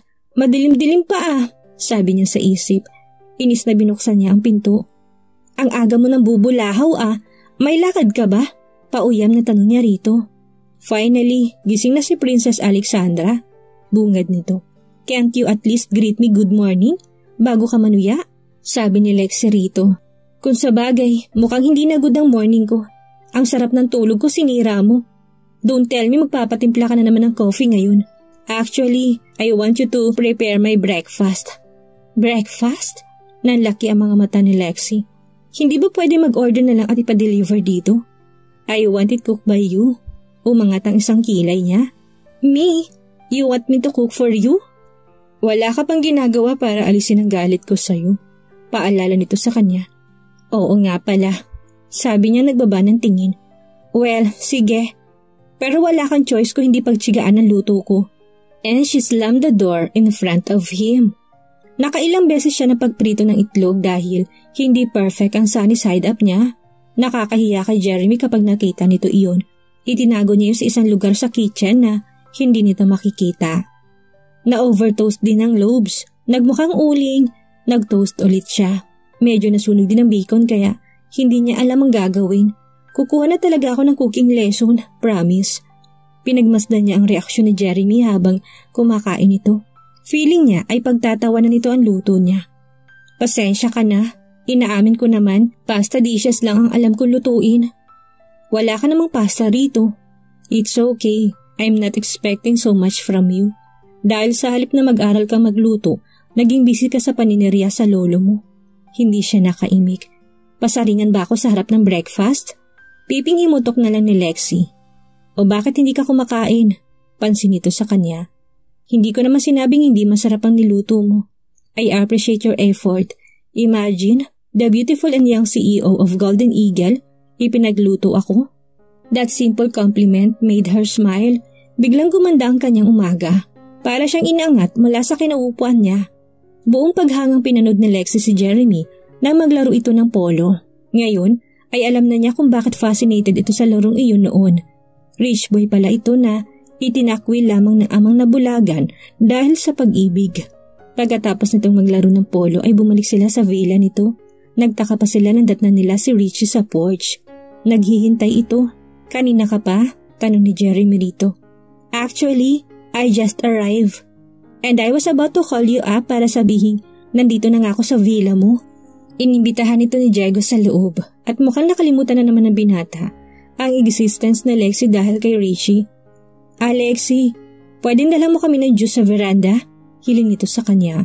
Natigilan siya. Gawin ba akong maid? Ngunit kahit naiinis ay sinunod pa rin niya ang hiling ni Jeremy. Nagtimpla siya ng pineapple juice para sa tatlo. Ngunit habang ginagawa niya yun, ay panay ang sulyap niya sa itaas kung saan nasa veranda si na Jeremy at Tracy. May naaamoy akong reconciliation ah, ani niya sa sarili. It was like torture. Mabigat sa dibdib ni Lexi ang isiping nasa ibang babae ang atensyon ng binata, samantalang siya ang kasama nito sa island resort na iyon.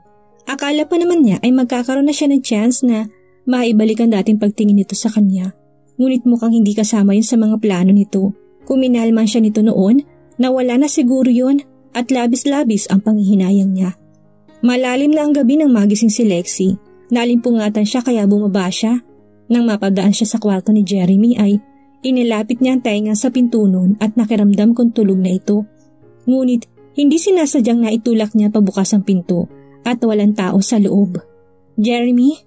Tawag niya rito sa pagbabaka sakaling nasa bathroom ito. Ngunit wala sumagot. Bumaba si Lex at tinanap ito sa ibang parte ng villa. Ngunit hindi niya ito nakita. Nang sumilip siya sa labas ay napansin niyang wala ang scooter na service nito. Saan nagpunta lalaking yun? Bakit niya ako iniwan dito? Baka kasama ni Rizzy? May kirot na naramdaman si Lexi sa kanyang dibdib. Madaling araw nang gisingin na naman siya ni Jeremy. Inis na inis siya. My God, Jeremy! It is still 10 to 4. Stop complaining. Prepare your things. We're leaving the villa. What? Why? You stop asking questions. Just do what I say. Naiinis man dahil sa nasirang tulog, ay sumunod na rin siya. At 4 o'clock in the morning, umakyat sila sa bundok. Isang tourist attraction yun sa Puerto Villa Ignacio. What's happening? Bakit ba bigla-biglang pag-akyat natin sa bundok? May iniiwasan tayong tao. Sino? Mamaya ako nipapaliwanag sa'yo, sabi nito.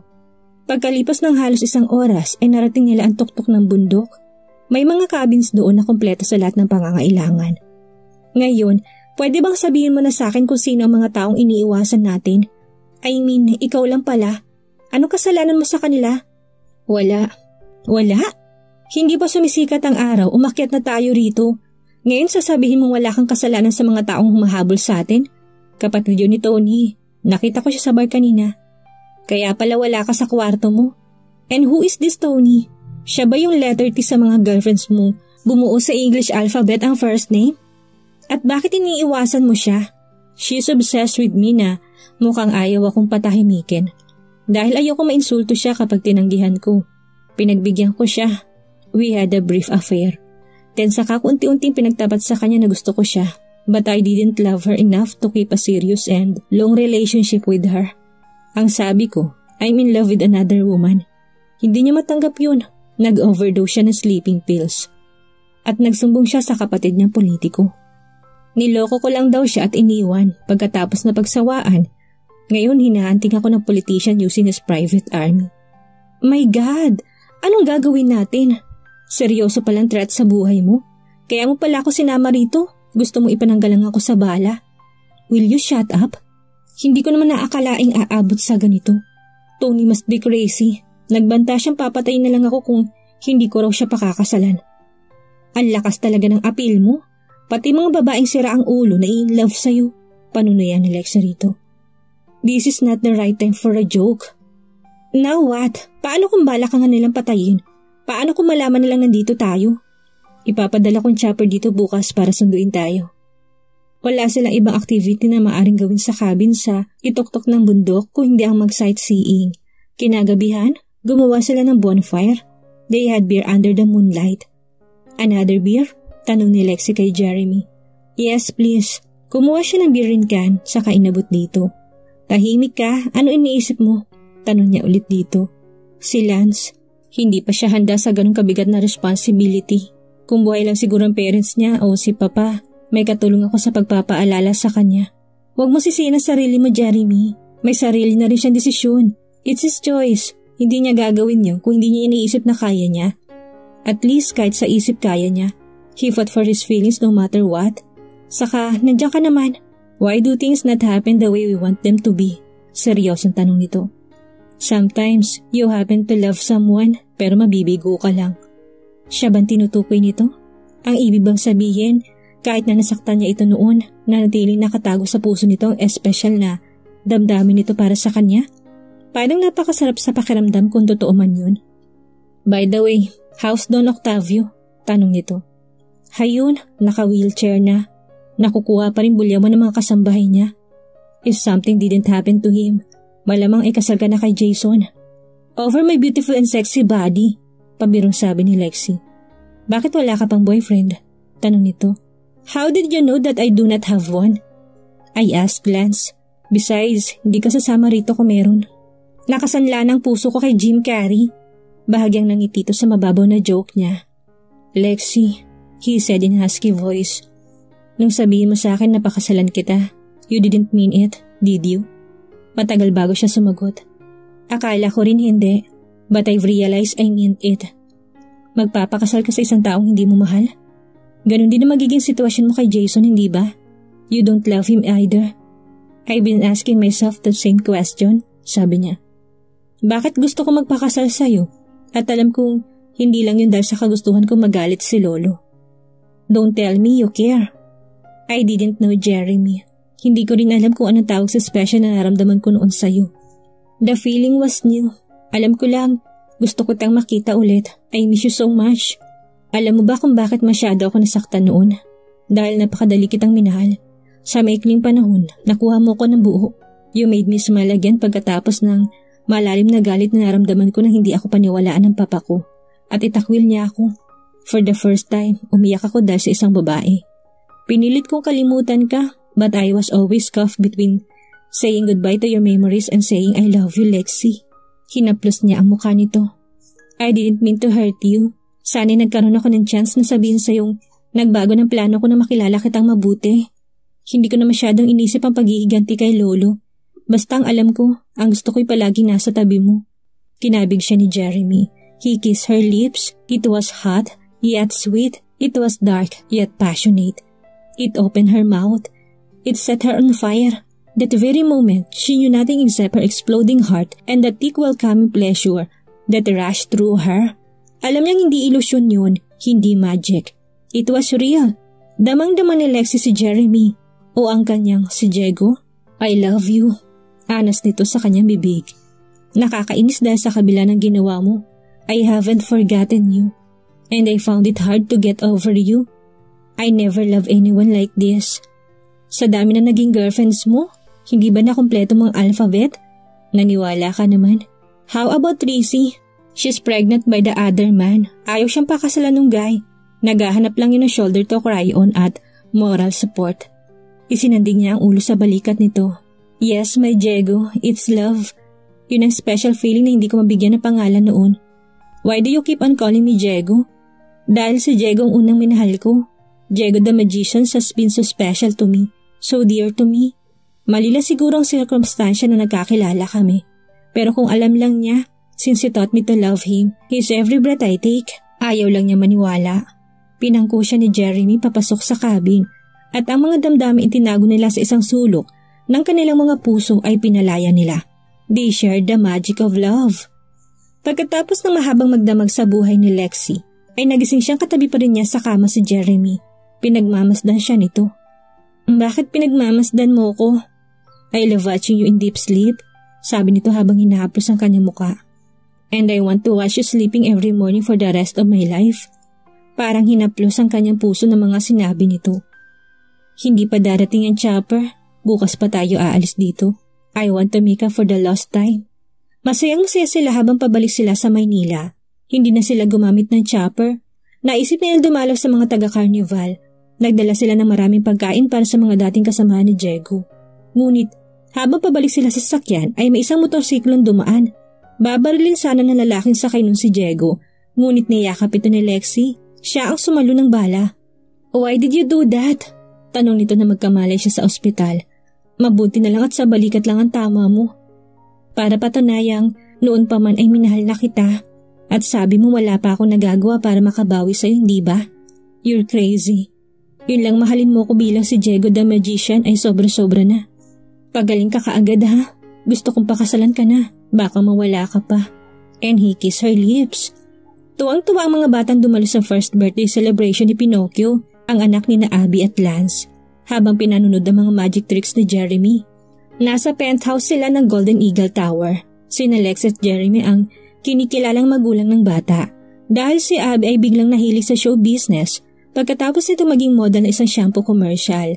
Bukod sa host na ito sa isang MTV show, ay nag-acting workshop na rin ito para sa soap opera kung saan magkakaroon ito ng importanteng role. May bago na ring boyfriend ito, ganon din si Lance Bukod sa may bago ng girlfriend nito ay nahihilig din ito sa pagpipaint. Patuloy ang pag-aaral nito sa Boston. Pareho ng masaya ang dalawa sa kanya-kanyang buhay ng mga ito. Napatunayan ni Lexi na tama lang ang naging desisyon ni Jeremy noon na hindi ipakasal ang mga ito. Kung nagkataon, baka nauwi lang sa paghihiwalay ang early marriage ng dalawa at kapwa lang magsisi ang mga ito. Halos dalawang taon na rin ang lumipas. Nasettle na ang naging problema ni Jeremy sa desperadong si Tony. Nakulong na rin ang lalaking sakay ng motorsiklo na bumaril kay Jeremy na kinasabwat pala ng politikong kapatid ni Tony. Five months ago ay kinasal sila ni Jeremy sa isang garden wedding na ginanap sa Puerto Villa Ignacio. Libang na libang ang mga bata sa mga magic mo. Hayan oh, hindi na nakakain. Sabi niya na lumapit sa kanyang asawa niya. Inabutan kaagad niya ito ng isang baso ng orange juice. One year old na si Pinocchio. Mukhang kailangan na siya bigyan ng kalaro. Nangingiting sabi ni Jeremy. Medyo naiinip na ito sa pagbubuntis niya. Kaya nga madalas sila sa Puerto Villa Ignacio para sa kanilang walang tigil na honeymoon at pagpapahinga. Actually, I have a surprise for you. Don't tell me marunong ka na rin mag-magic. No, umiiling na sabi ni Lexi. Come on, Han. Marunong ako mag-magic pero hindi ako marunong manghula. Sige na nga. Anya, may magic ako. Magic? Look at your back pocket. You'll see a piece of paper there. I didn't put it there, ha? Magic nga eh. Dinukot nito ang backpacket nito. May nakuha itong piece of paper. Nagtatakang binuklat nito iyon. Nalaki ang mga mata ni Jeremy nang mabasa nito kung ano ang nakasulat doon. Is this true? You're five weeks pregnant? That's magic, honey. Magkakababy na tayo. Magkakaroon na ng kapatid at kalaro si Pinocchio. Bigla siyang niyakap at binuhat nito. Natawag ang pansin ng lahat. I love you, honey. You made me so happy, sabi ni Jeremy. Hey everybody! Finally, my wife is pregnant. Nagpalakpakan ng karamihan sa mga bisita. Maligayang maligaya siya. That's the greatest magic on earth sa loob-loob niya. The magic of love. Hindi madaling turuan ng puso dahil kapag tumibok ito sa isang tao, kahit anong gawin mo, pilitin mo kayong paghiwalayin sa huli, mas mananaig pa din ang dalawang pusong tunay na nagmamahalan. Kagaya na lamang ang nangyari kina Lexi at Diego o sa tunay na pangalan Jeremy. Naging maliman ang una nilang pagkakakilala. Sa huli ay mas piniling magpatawad at sundin ang kanilang mga puso at masayang namuhay kasama ang kanilang mga anak. Dito na po nagtatapos ang ating kwento. Maraming salamat po sa lahat ng sumuporta at sumubaybay. Muli po ay magkita-kita tayo sa susunod pa nating istorya.